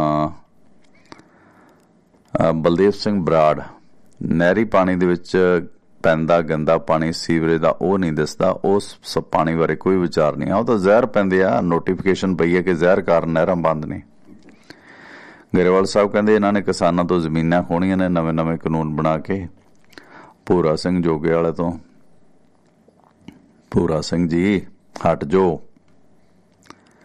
ਜੇ ਅਸੀਂ ਕਾਰਵਾਈ ਕੀਤੀ ਨਾ, ਫਿਰ ਬਿਨਾਂ ਵਜ੍ਹਾ ਉਜਰ ਬਹੁਤ ਹੁੰਦਾ ਹੈ। ਹਟ ਜੋ ਇਹਨਾਂ ਚੀਜ਼ਾਂ ਨੂੰ, ਛੱਡ ਦਿਓ। ਸਮਝ ਜੋ Paan Singh Grewal thank you earn Arun Narang ਨੂੰ ਪੁੱਛ ਲਓ ਕਿ ਨਾਰੰਗ ਨੂੰ ਕੀ ਦੇ ਦਿੱਤਾ ਇਹਨਾਂ ਨੇ। ਸਿਆਸੀ ਲੋਕ ਨੇ, ਠੀਕ ਹੈ, ਸਿਆਸਤ ਤੱਕ ਇਸ ਨੂੰ ਸੀਮਤ ਰੱਖੋ, ਪਰ ਬਹੁਤਾ ਮੋਢਿਆਂ ਤੇ ਦੀ ਨਾ ਥੋਕੋ, ਜੇ ਸੁਣਦੇ ਹੋ ਪ੍ਰੋਗਰਾਮ ਨੂੰ।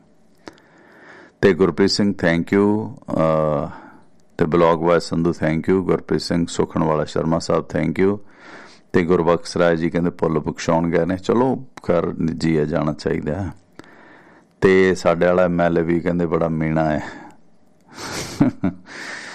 ਤੇ ਖੂਬਸੂਰਤ ਟਰੈਵਲ ਥੈਂਕ ਯੂ ਤੇ ਪਾਨ ਸਿੰਘ ਰੇਵਾਲ ਕਰਮਵੀਰ ਸਿੰਘ ਥੈਂਕ ਯੂ ਜਸਵੀਰ ਸਿੰਘ, ਬਟਾਰੀ ਤੋਂ ਰਜੀਵ ਜੀ ਥੈਂਕ ਯੂ ਤੇ ਗੁਰਮੀਤ ਸਿੰਘ, ਗੋਬਿੰਦਗੜ੍ਹ ਤੋਂ ਭਾਜੀ, ਸਵਾਗਤ ਹੈ, ਸਤਿ ਸ਼੍ਰੀ ਅਕਾਲ।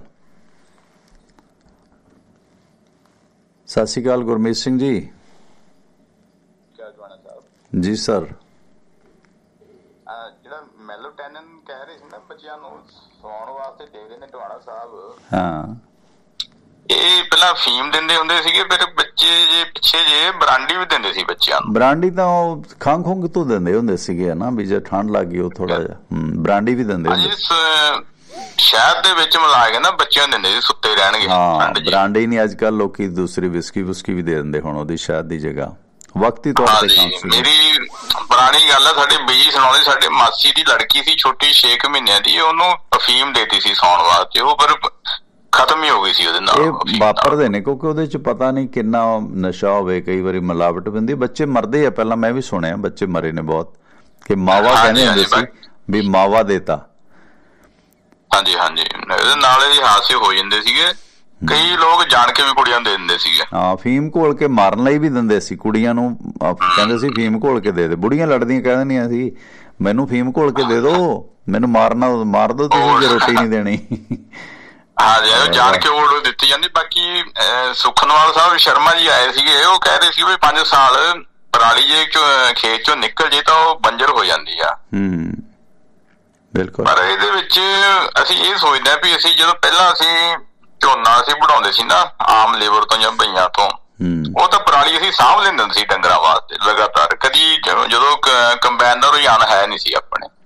ਹੂੰ। ਪਰ ਜ਼ਮੀਨ ਨੂੰ ਕੋਈ ਫ਼ਰਕ ਨਹੀਂ ਸੀ ਪਿਆ ਹੈਗਾ ਬੰਜਰ ਨਹੀਂ ਸੀ ਹੋਈ ਹੈਗੀ ਇਹ ਪਤਾ ਨਹੀਂ ਕਿਸ ਨਾਲ ਹੈਗੀ। ਨਹੀਂ ਨਹੀਂ ਉਹ ਉਹਨਾਂ ਦਾ ਲੌਜੀਕ ਸਹੀ ਹੈ ਉਦੋਂ ਕੁਝ ਹੋਰ ਸੀ ਕਿਉਂਕਿ ਦੇਖੋ ਜ਼ਮੀਨ ਦੇ ਉੱਤੇ ਜਿਹੜੀ ਫਸਲ ਹੁੰਦੀ ਹੈ ਨਾ ਉਹ ਫਸਲ ਉਸ ਜ਼ਮੀਨ ਦੇ ਉਹਨਾਂ ਤੱਤਾਂ ਦੇ ਸਿਰ ਤੇ ਹੀ ਪਲਦੀ ਹੈ। ਉਹ ਤੱਤ ਪੂਰੇ ਕਰਨੇ ਪੈਂਦੇ ਨੇ। ਜਦੋਂ ਉਸ ਨਾੜ ਨੂੰ ਵਿੱਚ ਪਾ ਦਿੰਦੇ ਹੋ ਤੇ ਉਹ ਤੱਤ ਫਿਰ ਮੁੜ ਕੇ ਆ ਜਾਂਦੇ ਨੇ। ਉਹ ਗੱਲ ਠੀਕ ਹੈ ਪਰ ਆਪਾਂ ਪਹਿਲਾਂ ਪਰਾਲੀ ਜਾਂ ਕਣਕ ਦੀ ਤੂੜੀ ਬਣੀਏ ਪਰਾਲੀ ਆਪਾਂ ਸਾਂਭ ਲੈਂਦੇ ਹੁੰਦੇ ਸੀਗੇ। ਅੱਗੇ ਅੱਗੇ ਦੇਖੋ ਅੱਗੇ ਜ਼ਮੀਨਾਂ ਤਕੜੀਆਂ ਸੀ ਉਹ ਦੁਰਪਰ ਮਤਲਬ ਦੇਰ ਬਾਅਦ ਪ੍ਰਭਾਵ ਪੈਂਦੇ ਆ ਇੱਕਦਮ ਨਹੀਂ ਪੈਂਦੇ।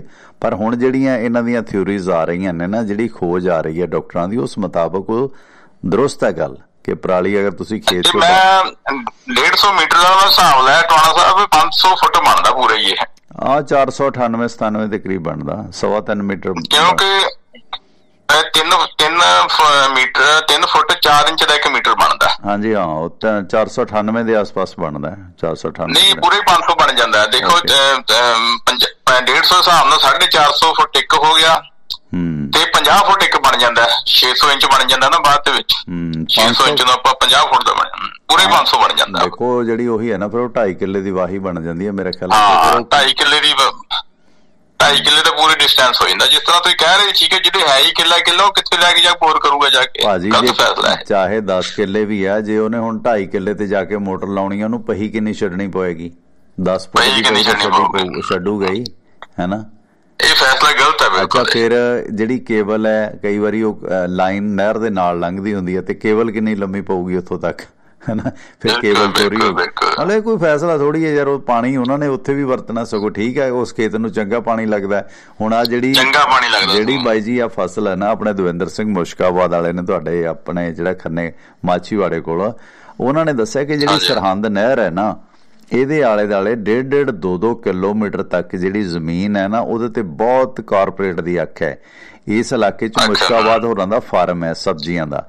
ਜਿਹੜੀ ਇੱਥੇ ਸਬਜ਼ੀ। ਉਗਦੀ ਹੈ ਉਹਦਾ ਜ਼ਮੀਨ ਅਸਮਾਨ ਦਾ ਫ਼ਰਕ ਹੈ ਕਿਉਂਕਿ ਉਹ ਕੱਚੀ ਨਹਿਰ ਹੈ ਨਹਿਰ। ਉਹ ਸਾਰਾ ਪਾਣੀ ਉਹ ਚ ਮੇਰੇ ਰਸਦਾ ਤੁਸੀਂ ਇੰਟਰਵਿਊ ਕਰੀ ਸੀ ਮੇਰੀ ਖਿਆਲ ਉਹਨਾਂ ਹਾਂ ਨਾਲ? ਮੈਂ ਇੰਟਰਵਿਊ ਕੀਤੀ। ਹੈ ਹੋਰ ਵੀ ਕਈ ਚੈਨਲਾਂ ਨੇ ਕੀਤੀ ਹੈ ਕਿਉਂਕਿ ਉਹ ਪਾਣੀ ਜਿਹੜਾ ਹੈ ਨਹਿਰ ਦੇ ਉਰਲੇ ਪਾਸੇ ਹੈ ਉਹਨਾਂ ਦੀ ਜ਼ਮੀਨ। ਕਿਉਂਕਿ ਨਹਿਰ ਦੇ ਅਗਰ ਜਾਂ ਤੁਸੀਂ- ਫਿਰ ਜਾਂ ਫਿਰ ਨਹਿਰ ਦੇ ਨਾਲ ਨਾਲ ਜਿਹੜੇ ਜਿੰਨੇ ਵੀ ਕਿਸਾਨ ਨੇ ਸਾਰਿਆਂ ਨੂੰ ਨਹਿਰੀ ਪਾਣੀ ਦਾ ਕਨੈਕਸ਼ਨ ਦੇ ਦਿਓ। ਹੂੰ। ਨਹੀਂ ਉਹ ਠੀਕ ਹੈ ਉਹ ਰੁਟੀਨ ਚੱਲਦਾ ਹੈ ਉਹ ਚੀਜ਼ ਚੱਲਦੀ ਹੈ ਤੇ ਉਹ ਤਾਂ ਕੋਈ ਲੌਜੀਕ ਨਹੀਂ ਹੈ ਹੁਣ ਆ ਬੋਰ ਨਾ ਕਰੋ ਜੀ। ਮਤਲਬ ਇਹਨਾਂ ਨੇ ਨਵੀਂ ਗੱਲ ਕੱਢ ਕੇ ਕਹਿਣਾ ਕਿ ਆਹ ਦੇਖੋ ਹੁਣ ਚਰਚਾ ਹੋ ਗਈ ਨਾ ਕਿ ਇਹ ਇਹਨਾਂ ਨੂੰ ਇਹਨਾਂ ਫਿਰ ਵਾਪਸ ਲੈਣਾ ਪੈ ਜਾਣਾ ਸਾਰੇ ਇਹ। ਵਾਪਸ ਲੈਣਾ ਪਊਗਾ ਇਹਨਾਂ ਨੂੰ ਫਿਰ। ਉਹ ਹੁਣ ਦੇਖੋ ਜਿਹੜਾ ਮਤਲਬ ਇੱਕ ਨਵੀਂ ਚੀਜ਼ ਪੇਸ਼ ਕਰਤੀ ਉਹਨੂੰ ਕਹਿ ਅਸੀਂ ਆਹ ਫੈਸਲਾ ਕਰਤਾ ਜੀ 1873 ਦਾ ਕਾਨੂੰਨ ਬਦਲਦਾ ਸੀ। ਇਹਨਾਂ ਨੇ ਤਾਂ ਇਸ ਤੇ ਇਸ਼ਤਿਹਾਰ ਲਾ ਦੇਣਾ ਨਾ। ਵੀ ਉਹਦਾ ਫਾਇਦਾ? ਵਾਪਸ ਲੈਣਾ ਪੈ ਜਾਊਗਾ ਫਿਰ ਇਹਨਾਂ ਨੂੰ। ਹਾਂ ਥੈਂਕ ਯੂ ਮਿਹਰਬਾਨੀ। ਥੈਂਕ ਯੂ ਮਿਹਰਬਾਨੀ। ਅਸਲ ਦੇ ਵਿੱਚ ਕਾਰਨ ਪਤਾ ਕੀ ਹੈ? ਉਹਦੇ ਵਿੱਚ ਟੇਢੇ ਤਰੀਕੇ ਨਾਲ ਕਿ ਦੇਖੋ ਜੀ ਇਹਨਾਂ ਨੇ ਜੇ ਉੱਥੇ ਮੋਟਰ ਲਾਈ ਹੈ ਇਹ ਪਾਈਪ ਨਹਿਰ 'ਚ ਸੱਟ ਕੇ ਮੋਟਰ ਰਾਹੀਂ ਕੱਢਦੇ ਨੇ। ਇਹ ਵੀ ਲੌਜੀਕ ਦੇਣਗੇ ਲੋਕ ਇਸ ਕਾਨੂੰਨ ਨੂੰ ਜਸਟੀਫਾਈ ਕਰਨ ਵਾਲੇ ਕਿ ਥੱਲੇੋਂ ਨਹੀਂ ਖਿੱਚਦੇ ਜੀ। ਜਿਵੇਂ ਸੁਰਿੰਦਰ ਜੀ ਨੇ ਵੀ ਆਖਿਆ ਕਿ ਬਹੁਤ ਸਾਰੇ ਲੋਕਾਂ ਨੇ ਚੋਰੀ ਪਾਈ ਹੋਈ ਹੈ ਅੰਦਰੋਂ ਮੋਟਰ ਨਾਲ ਚੱਕਦੇ ਨੇ। 1-2% ਦੀ ਚੋਰੀ ਪਾਈਪ ਹੋ ਸਕਦੀ ਹੈ, ਪਰ ਬਲਕ 'ਚ ਨਹੀਂ ਇਹ ਚੀਜ਼ ਐਨੀ ਹੈਗੀ। ਉਹ ਚੋਰੀ ਪਾਈਪ ਲਾਉਂਦੇ ਨੇ, ਲੋਕੀ ਰਾਤ ਨੂੰ ਉਹਨੂੰ ਸੁੰਡ ਕਹਿੰਦੇ ਆ, ਜਿਹੜਾ ਟੈਂਪਰੇਰੀ ਪਾਈਪ ਲਾਉਂਦੇ ਨੇ। ਤੇ ਮੋਟਰ ਨਹਿਰ ਚੋਂ ਪੱਕੀ ਚੋਰੀ ਬਹੁਤ ਘੱਟ ਹੈ, ਜਿਨ੍ਹਾਂ ਨੇ ਨਹਿਰ ਚੋਂ ਸਿੱਧਾ ਪਾਈਪ ਪਾਇਆ ਹੋਵੇ। 1-2% ਕਿਸੇ ਦਾ ਹੋਊਗਾ, ਨਹੀਂ ਤਾਂ ਬਾਈ ਜੀ, ਅਗਲਾ ਡੋਡੇ ਨਹੀਂ ਬੀਜਣਾ ਦਿੰਦਾ ਅਗ ਲੱਗਾ ਜੇ ਗੰਨੇ ਦੇ ਖੇਤ 'ਚ ਵੀ ਕਿਸੇ ਨੇ ਬੀਜੇ ਹੋਏ ਨੇ ਨਾ, ਅੱਧ ਵਿਚਾਲੇ ਉਹ ਵੀ ਅਗਲਾ ਵੇਖ ਲੈਂਦਾ ਕਿੱਥੇ ਉਹ ਬੀਜਿਆ। ਗਵਾਂਢੀ ਉਹ ਸੀਆਈਡੀ ਕਰ ਦਿੰਦੇ ਨੇ ਸੋ ਇੰਨਾ ਪੱਕੀ ਪਾਈਪ ਨਹੀਂ ਕਿਸੇ ਦੀ ਮੇਰੇ ਖਿਆਲ ਹੋ ਸਕਦੀ। ਤੇ ਮੁਕੱਦਰ ਜੀ ਸਵਾਗਤ ਹੈ ਸਤਿ ਸ਼੍ਰੀ ਅਕਾਲ।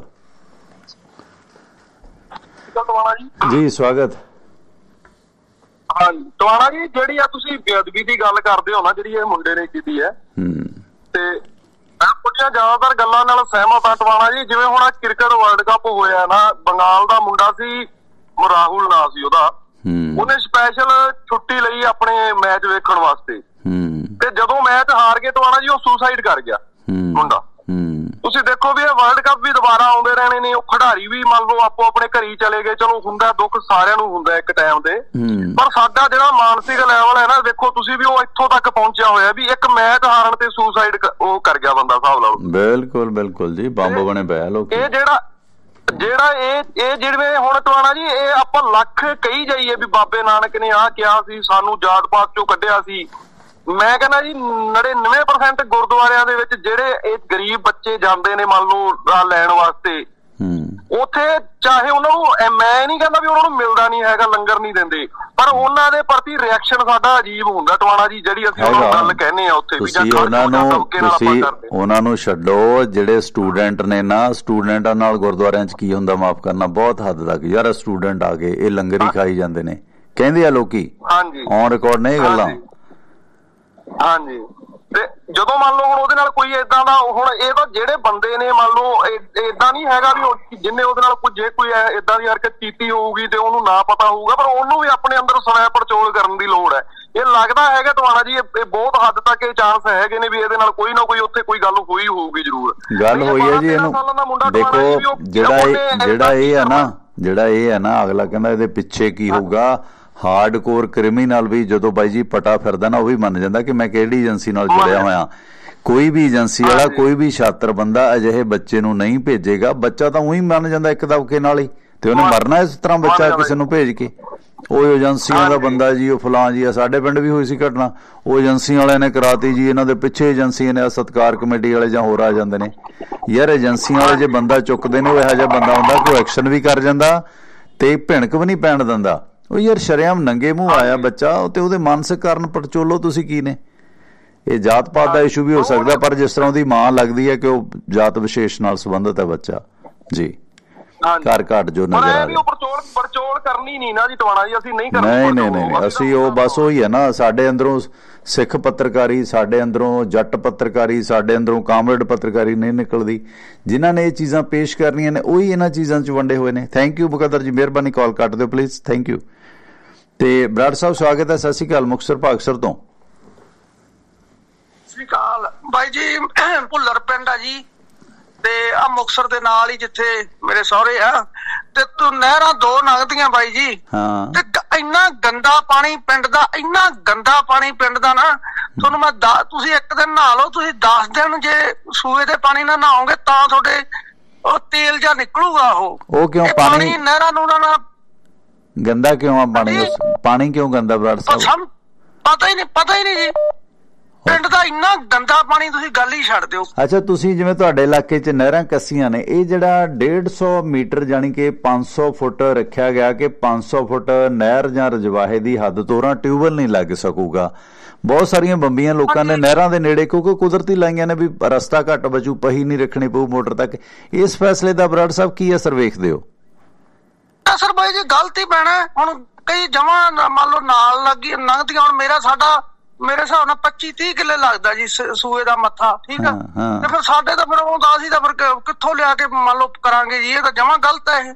ਮਤਲਬ ਆਦਤਨ ਲੋਕ ਪਹੀ ਦੇ ਸੜਕ ਦੇ ਨੇੜੇ ਹੀ ਕੋਠਾ ਬਣਾਉਂਦੇ ਨੇ। ਇਹ ਤਾਂ ਨਹੀਂ ਕਿ ਗੱਬੇ ਜਾ ਕੇ ਬਣਾਉਣ। ਹੁਣ ਟਰਾਲੀ ਵੀ ਜਾਂਦੀ ਆ ਮੋਟਰ ਵੀ ਕੱਢਣੀ ਆ।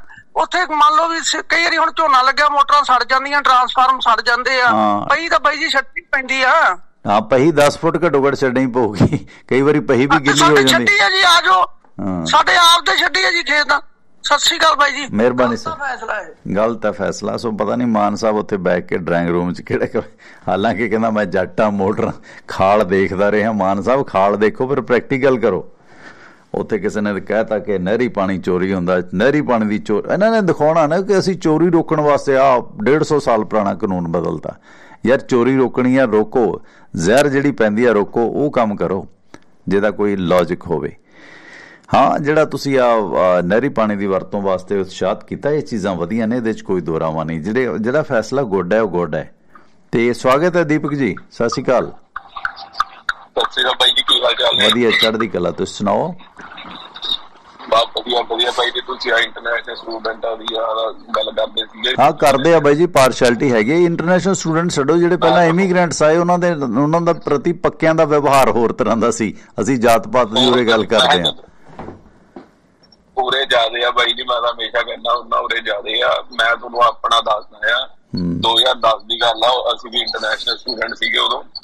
ਤੇ ਕੁਝ ਸਮਾਂ ਚਲੋ ਇਦਾਂ ਦਾ ਆਇਆ ਕਿ ਬਹੁਤ ਮਾੜੀ ਕਹਿ ਦਈਏ ਕੰਮਕਾਰ ਹੈ ਨਹੀਂ ਸੀਗਾ ਮਾਲਟਨ ਗੁਰੂ ਘਰ ਪੈਂਦਾ ਆ ਤੇ ਅਸੀਂ ਚਾਰ ਜਣੇ ਰਹਿੰਦੇ ਸੀ ਬਈ। ਹੂੰ। ਤੇ ਅਸੀਂ ਚੱਲ ਸੋਚਿਆ ਕਿ ਚੱਲ ਇੱਕ ਟਾਈਮ ਦਾ ਯਾਰ ਕੰਮ ਤੋਂ ਆ ਕੇ ਜਾਂ ਜਿੱਦਾਂ ਘਰੇ ਹੁੰਦੇ ਸੀਗੇ ਕਿ ਇੱਕ ਟਾਈਮ ਦਾ ਉਰੇ ਖਾਲੇ ਕਰਾਂਗੇ ਕਿ ਫਾਈਨੈਂਸ਼ੀਅਲ ਸਿਚੁਏਸ਼ਨ ਨਹੀਂ ਹੈਗੀ। ਅਸੀਂ ਉਹ ਵੀ 10 ਕੁ ਦਿਨ ਹੋਏ ਹੋਣੇ ਬਾਈ ਜੀ ਹਾਰਡਲੀ ਹੂੰ। ਜਿਹਨੂੰ ਕਹਿ ਦਈਏ ਹਨਾ। ਹੂੰ। ਅਸੀਂ ਲਗਾ- ਲਗਾਤਾਰ ਇੱਕ ਗੁਰੂ ਘਰ ਗਏ ਜਿੱਦਾਂ। ਮਤਲਬ ਲਗਾਤਾਰ ਕੀ ਗਏ ਮਤਲਬ ਉਸੇ ਗੁਰੂ ਘਰ 10 ਦਿਨ ਲਗਾਤਾਰ ਖਾਦਾ ਹੋਣਾ ਲੰਗਰ ਟਾਈਮ ਦਾ। ਹੂੰ ਤੇ ਜੀ ਅਸੀਂ ਕਾਲਜ ਤੋਂ ਆਈ ਚਾਰ ਮੁੰਡੇ ਚਾਰੇ ਮੁੰਨੇ ਘੋਲੇ ਤੇ ਸਾਡੇ ਕਾਲਜ 'ਚ ਇੱਕ ਮੁੰਡਾ ਪੜਦਾ ਸੀਗਾ ਉਹ ਦਮਾਲਾ ਬੰਦਾ ਸੀ ਹੈਗਾ ਉਹ ਵੀ ਸਟੂਡੈਂਟ ਹੀ ਸੀਗਾ। ਹੂੰ। ਤੇ ਸਾਡੇ ਨਾਲ ਮੁੰਡਾ ਹੁੰਦਾ ਸੀਗਾ ਉਹਨੇ ਜਿੱਦਾਂ ਲੰਗਰ ਛਕ ਲਿਆ ਤੇ ਅਸੀਂ ਇੱਕ ਮੁੰਡਾ ਕਹਿੰਦਾ ਨਾਲ ਦਾ ਇੱਕ ਪ੍ਰਸ਼ਾਦਾ ਹੋਰ ਲਿਆ ਦੇ ਉਹਨੇ ਬਾਈ ਜੀ ਸਾਡੇ ਸਾਹਮਣੇ ਹੱਥ ਧੋ ਕੇ ਨਾ ਮਤਲਬ ਜ਼ਿਆਦਾ ਜਣੇ ਨਹੀਂ ਸੀਗੇ ਲੰਗਰ ਹਾਲ ਦੇ ਵਿੱਚ ਚਾਰ ਕੁ ਜਿਹੜੇ ਜਿੱਦਾਂ ਗੁਰਦੁਆਰਾ ਕਮੇਟੀ ਦੇ ਲਾ ਲਓ ਮੈਨੇਜਮੈਂਟ ਦੇ ਸੀਗੇ ਚਾਰ ਜਾਂ ਪੰਜ ਜਣੇ ਮਤਲਬ ਚਾਰ ਜਣੇ ਸੀ ਸੀ ਦੋ ਚਾਰ ਜਣੇ। ਹੂੰ। ਉਹਨੇ ਬਾਈ ਜੀ ਪ੍ਰਸ਼ਾਦਾ ਨਾ ਹੱਥ ਧੋ ਕੇ ਲਿਆ ਕੇ ਦਿੱਤਾ। ਹੂੰ। ਬਾਈ ਉੱਥੇ ਸਿੰਘ ਬੈਠਾ ਉਹ ਤਾਂ ਟੁੱਟ ਕੇ ਪੈ ਗਿਆ ਉਹਨੂੰ। ਹੂੰ। ਕਹਿੰਦਾ ਤੁਸੀਂ ਖਾਣ ਆਏ ਨੇ ਹੋ ਤੁਹਾਨੂੰ ਇੰਨੀ ਅਕਲ ਤਾਂ ਚਾਹੀਦੀ ਆ ਕਿ ਹੱਥ ਧੋ ਕੇ ਤੁਸੀਂ ਸੁੱਚੇ ਲੰਗਰ ਨੂੰ ਹੱਥ ਲਾਓ ਹਨਾ? ਹੂੰ। ਉਹ ਕਹਿੰਦਾ ਬਾਬਾ ਜੀ ਮੈਂ ਹੱਥ ਧੋ ਕੇ ਦਿੱਤਾ ਆ। ਹੂੰ ਤੇ ਬੜੀ ਉਹਨੇ ਨਾ ਗੰਦੀ ਨਹੀਂ ਉਹ ਜਿਹੜੇ ਜਿਹੜੇ ਟਕਸਾਲ ਵਾਲੇ ਨੇ ਨਾ ਜਾਂ ਹੋਰ ਨੇ ਜਿਵੇਂ ਉਹ ਲੋਹੇ ਦੇ ਭਾਂਡੇ ਵਰਤਦੇ ਨੇ ਉਹ ਤਾਂ ਜੇ ਆਮ ਬੰਦਾ ਵੀ ਉਹਨਾਂ ਨੂੰ ਲਾ ਦੇਵੇ ਨਾ ਉਹ ਕਹਿੰਦੇ ਨੇ ਵੀ ਸਾਡਾ ਅੰਮ੍ਰਿਤ ਛਕਿਆ ਹੋਇਆ ਸਾਡੇ ਵਾਲੇ ਜਿੱਤੋਂ ਅਸੀਂ ਅੰਮ੍ਰਿਤ ਛਕਿਆ ਉਹਦਾ ਹੀ ਅੰਮ੍ਰਿਤ ਅਸੀਂ ਮੰਨਣਾ ਅਸੀਂ ਦੂਸਰੇ ਨੇ ਜੇ ਹੱਥ ਲਾਤਾ ਤਾਂ ਸਾਡਾ ਵੀ ਧਰਮ ਪ੍ਰੇਸਟ ਹੁੰਦਾ। ਪ੍ਰੋਬਲਮ ਬਹੁਤ ਨੇ ਦੀਪਕ ਜੀ ਗੱਲ ਸਿਰੇ ਲੱਗੀ ਪਈ ਹੈ। ਤੁਸੀਂ ਇੱਥੋਂ ਤੱਕ ਛੱਡੋ ਆ ਮੈਂ ਹੁਣ 2009 ਚ ਗਿਆ ਸੀ ਨਿਊਜ਼ੀਲੈਂਡ ਉਸ ਤੋਂ ਪਹਿਲਾਂ ਕੋਈ ਮਲਵਈ ਕਲੱਬ ਵਾਲਿਆਂ ਨੇ ਕੋਈ ਫੰਕਸ਼ਨ ਕਰਾਇਆ ਮੈਂ ਉਦੋਂ ਕਈ ਰਿਪੋਰਟਸ ਪੜ੍ਹੀਆਂ। ਈਵਨ ਆ ਹਰਨੇਕ ਸਿੰਘ ਨੇਕੀ ਹੋ ਰਹੀ ਉੱਥੇ ਮਾਲਵਾ, ਦੁਆਬਾ, ਇਹਨਾਂ ਗੱਲਾਂ ਨੂੰ ਲੈ ਕੇ ਵੀ ਲੜਦੇ ਰਹੇ ਕਿ ਯਾਰ ਤਾਂ ਮਲਵਈ ਨੇ। ਮਤਲਬ ਤੁਸੀਂ ਉੱਥੇ ਮਤਲਬ ਜਾਤ ਪਾਤ ਛੱਡੋ, ਮਾਲਵਾ, ਦੁਆਬਾ ਤੇ ਮਾਝਾ, ਇਹਨਾਂ ਗੱਲਾਂ ਨੂੰ ਲੈ ਕੇ ਵੀ ਲੋਕਾਂ 'ਚ ਲੜਾਈਆਂ ਨੇ ਕਿ ਮਲਵਈ ਐ ਮਝਾ ਵਾਲੇ ਐ, ਦੁਆਬੇ ਵਾਲੇ ਐ। ਜਾਤ ਪਾਤ ਤਾਂ ਦੂਰ ਦੀਆਂ ਗੱਲਾਂ। ਲੜਾਈ- ਜਿਹੜਾ ਲੜਾਈ ਤਾਂ ਤੁਸੀਂ ਜਾਤ ਪਾਤ ਦੀ ਗੱਲ ਕਰਦੇ ਹੋ, ਹਜੇ ਤਾਂ ਇਹ ਤੁੜਕੇ ਤੇ ਤੜਕੇ ਚੋਂ ਨਹੀਂ ਨਿਕਲੇ ਬਾਈ ਜੀ, ਰੋਟੀ ਕਿਹੜੀ ਸੱਚੀ ਕਿਹੜੇ ਪਾਸੇ? ਕਰਨੀ ਚਾਹੀਦੀ ਆ ਈਵਨ ਤੁਸੀਂ ਵੇਖੋ ਜਿਹੜੇ ਮੁਹਾਜਰ ਨੇ ਨਾ ਜਿਹੜੇ ਪਾਕਿਸਤਾਨ 'ਚ ਇੱਥੋਂ ਉੱਜੜ ਕੇ ਮੁਸਲਮਾਨ ਗਏ ਗਰੀਬ ਲੋਕ ਸੀ ਪੀੜਤ ਸੀ ਉਹਨਾਂ ਮੁਹਾਜਰਾਂ ਨਾਲ ਪਾਕਿਸਤਾਨ ਦੇ ਮੁਸਲਮਾਨ ਰਿਸ਼ਤੇ ਨਹੀਂ ਰੱਖਦੇ। ਜਿਹੜੇ ਉਧਰੋਂ ਬਾਰੀਏ ਲਾਹੌਰੀਏ ਸਿਆਲਕੋਟੀਏ ਭਾਊ ਜਿਹੜੇ ਪਾਕਿਸਤਾਨ ਨੂੰ ਆਏ ਉੱਜੜ ਕੇ ਉਹਨਾਂ ਨੂੰ ਅਸੀਂ ਰਫੂਜੀਏ ਬਾਰੀਏ ਬਹਾਵਲਪੁਰੀਏ ਕਹਿੰਦੇ ਆ ਉਹਨਾਂ ਨਾਲ ਸਾਡੇ ਸਥਾਨਕ ਲੋਕ ਰਿਸ਼ਤੇਦਾਰ ਨਹੀਂ ਕਰ- ਕਰਦੇ ਆਪਸ 'ਚ ਬਹਾਵਲਪੁਰੀਏ ਦੂਜੇ ਹਿੰਦੂਆਂ 'ਚ ਨਹੀਂ ਕਰਦੇ। ਜਿਹੜੇ ਜੱਟ ਲਾਹੌਰੀਏ ਆ ਉਹ ਸਥਾਨਕ ਮਲਵਈਆਂ ਨਾਲ ਨਹੀਂ ਕਰਦੇ। ਆ ਹੁਣ ਰਿਸ਼ਤੇ ਹੋਣ ਲੱਗੇ ਨੇ ਲਾਹੌਰੀਆਂ ਤੇ ਮਤਲਬ ਇਧਰਲੇ ਲੋਕਾਂ ਦੇ। ਇੰਨਾ ਫ਼ਰਕ ਹੈ। ਗੱਲ ਗੱਲ ਪੱਕੀ ਬਾਈ ਜੀ ਆਈ ਮੈਂ ਜਿਹੜੀ ਤੁਹਾਨੂੰ ਦੱਸਦਾ ਸੀਗਾ ਉਹ ਤੋਂ ਬਾਅਦ ਜਿਹੜਾ ਮੁੰਡਾ ਸਾਡੇ ਨਾਲ ਹੀ ਮਤਲਬ ਕਾਲਜ ਪੜ੍ਹਦਾ ਸੀਗਾ। ਉਹ ਦਮਾਲਾ ਬੰਦਾ ਸੀਗਾ। ਉਹ ਤੁਸੀਂ ਲਿਟਰਲੀ ਕੋਈ ਝੂਠ ਨਹੀਂ ਬਾਈ ਜੀ ਸੱਚੀ ਗੱਲ ਦੱਸਦਾ। ਉਹਨੇ ਆ ਕੇ ਲੰਗਰ ਪਾਇਆ। ਲੰਗਰ ਉਹਨਾਂ ਦੇ ਕੋਲ ਬੈਠੇ ਖਾਦਾ ਜਿੱਦਾਂ ਉਹ ਆਪਣਾ ਪਿਆਜ਼ ਪੂਰੀ ਕੱਟਦੇ ਸੀਗੇ। ਬਾਈ ਜੀ ਉਹ ਲੰਗਰ ਖਾਂਦਾ ਖਾਂਦਾ ਉੱਠ ਕੇ ਨਾ ਉਹਨੇ ਹੱਥਾਂ ਨਾਲ ਚੱਕ ਕੇ ਪ੍ਰਸ਼ਾਦਾ ਉਸੇ ਮਤਲਬ ਲੈ ਕੇ ਆਇਆ ਹਨਾ? ਕੋਈ ਚਲਾ ਲਓ ਜਾਂ ਆਪਣੇ ਹੌਟ ਫੇਸ ਚਲਾ ਲਓ। ਉਹਦੇ ਨਾਲ ਵੀ ਬੜੀਆਂ ਹਾਸ-ਹਾਸ ਗੱਲਾਂ ਹੋ ਰਹੀਆਂ ਨੇ ਤੇ ਅਸੀਂ ਬੜਾ ਫੀਲ ਕੀਤਾ ਯਾਰ ਕਿ ਆਹੀ ਬੰਦਾ ਸਾਨੂੰ ਐਡੀ ਕੌੜੀ ਘੂਰ ਵੱਟ ਕੇ ਗਿਆ। ਤੇ ਐਡਾ ਮਤਲਬ ਮੋੜ ਕੇ ਗਿਆ ਤੇ ਆਹੀ ਬੰਦਾ ਸਾਹਮਣੇ ਉਹਦੇ ਝੂਠੇ ਹੱਥ ਲੈ ਕੇ ਤੇ ਉਹਦੇ ਪ੍ਰਸ਼ਾਦਾ ਕੱਢ ਕੇ ਲਿਆਇਆ ਕਿ ਇਹਦੇ ਲਈ ਸਭ ਸੁੱਚਮ ਆ ਨਹੀਂ ਹੈਗੇ ਜੀ ਪੱਖਪਾਤ ਕਰਦੇ ਆ ਅਸੀਂ ਬਾਈ ਜੀ ਇਹ ਕੁਦਰਤੀ ਹੈ। ਸਟੂਡੈਂਟ ਨਾਲ ਵੀ ਬਹੁਤ ਹੱਦ ਤੱਕ ਹੁੰਦਾ ਆਇਆ। ਇਸ ਮਨੁੱਖੀ ਸੁਭਾਅ 'ਚ ਇਹ ਚੀਜ਼ਾਂ ਨੇ ਜਿਹੜੀਆਂ ਸਮੱਸਿਆ ਦਾ ਕਾਰਨ ਬਣਦੀਆਂ ਨੇ। ਬਹੁਤ ਬਹੁਤ ਧੰਨਵਾਦ ਦੀਪਕ ਜੀ। ਥੈਂਕ ਯੂ ਮਿਹਰਬਾਨੀ। Thank you ਬਾਈ ਮਿਹਰਬਾਨੀ। ਲਓ ਦੋਸਤੋ ਫਿਰ ਹੁਣ ਵਕਤ ਤੁਹਾਡੇ ਤੋਂ ਵਿਦਾਇਗੀ ਦਾ। ਧੰਨਵਾਦ ਸਾਡੇ ਸਪਾਂਸਰ ਦਾ ਸਬਸਕ੍ਰਾਈਬਰ ਦਾ। ਜਿਨ੍ਹਾਂ ਦੀ ਬਦੌਲਤ ਇਹ ਪ੍ਰੋਗਰਾਮ ਤੁਹਾਡੇ ਤੱਕ ਪਹੁੰਚਦੇ ਨੇ। ਤੇ ਫੇਸਬੁੱਕ ਤੇ ਅੱਜ ਲਾਈਵ ਨਹੀਂ ਸੀ ਸੋ YouTube ਤੇ ਤੁਸੀਂ ਇਹਨਾਂ ਪ੍ਰੋਗਰਾਮਾਂ ਨੂੰ ਸੁਣ ਸਕਦੇ ਹੋ। ਤੇ ਇਹ ਜਿਹੜਾ ਆਪਾਂ ਇੱਕ ਸਪੈਸ਼ਲ ਕਲਿੱਪ ਬਣਾਇਆ, ਇਹ ਪਾਵਾਂਗੇ। ਸੋ ਗੁਰੇਜ਼ ਕਰੋ ਕਿ ਆਪਣੇ ਬੱਚਿਆਂ ਨੂੰ ਇਸ ਤਰ੍ਹਾਂ ਦੀ ਜ਼ਹਿਰ ਨਾ ਦਿੱਤੀ ਜਾਵੇ, ਨੀਂਦ ਕੁਦਰਤੀ ਲਿਆਓ ਸੋ ਇਸ ਤਰ੍ਹਾਂ ਦੀ ਅਲਾਮਤ ਤੋਂ ਬਚੋ। ਮਨੀਪੁਰ ਦੇ ਵਿੱਚ ਫਿਰ ਗੋਲੀਆਂ ਚੱਲੀਆਂ ਨੇ ਤੇ ਦੋ ਲੋਕਾਂ ਦੀ ਮੌਤ ਹੋਈ ਹੈ ਤੇ ਅੱਜ ਕੋਂਗਪੋਲ ਪੋਕਲੀ ਬੰਦ ਕੀਤਾ ਗਿਆ। ਮਨੀਪੁਰ ਦੇ ਵਿੱਚ ਹੋਈ ਗੋਲੇਬਾਰੀ ਦੇ ਕਾਰਨ ਸੋ ਆਦੀਵਾਸੀ ਸੰਗਠਨ ਨੇ ਦਾਅਵਾ ਕੀਤਾ ਕਿ ਕੁੱਕੀ ਜੋ ਸਮੁਦਾਇ ਦੇ ਲੋਕਾਂ ਤੇ ਬਿਨਾਂ ਕਿਸੇ ਉਕਸਾਵੇ ਤੇ ਹਮਲਾ ਕੀਤਾ ਗਿਆ, ਸੋ ਕੁੱਕੀ ਫਿਰ ਟਾਰਗੇਟ ਬਣੇ ਨੇ। ਸੋ ਮਤੋਈ ਤੇ ਕੁੱਕੀਆਂ ਦੇ ਦਰਮਿਆਨ ਇਹ ਜਿਹੜੀ ਜਾਤੀ ਜੰਗ ਹੈ, ਇਹ ਹੁਣ ਤੱਕ 200 ਦੇ ਕਰੀਬ ਜਾਨਾਂ ਲੈ ਚੁੱਕੀ ਹੈ।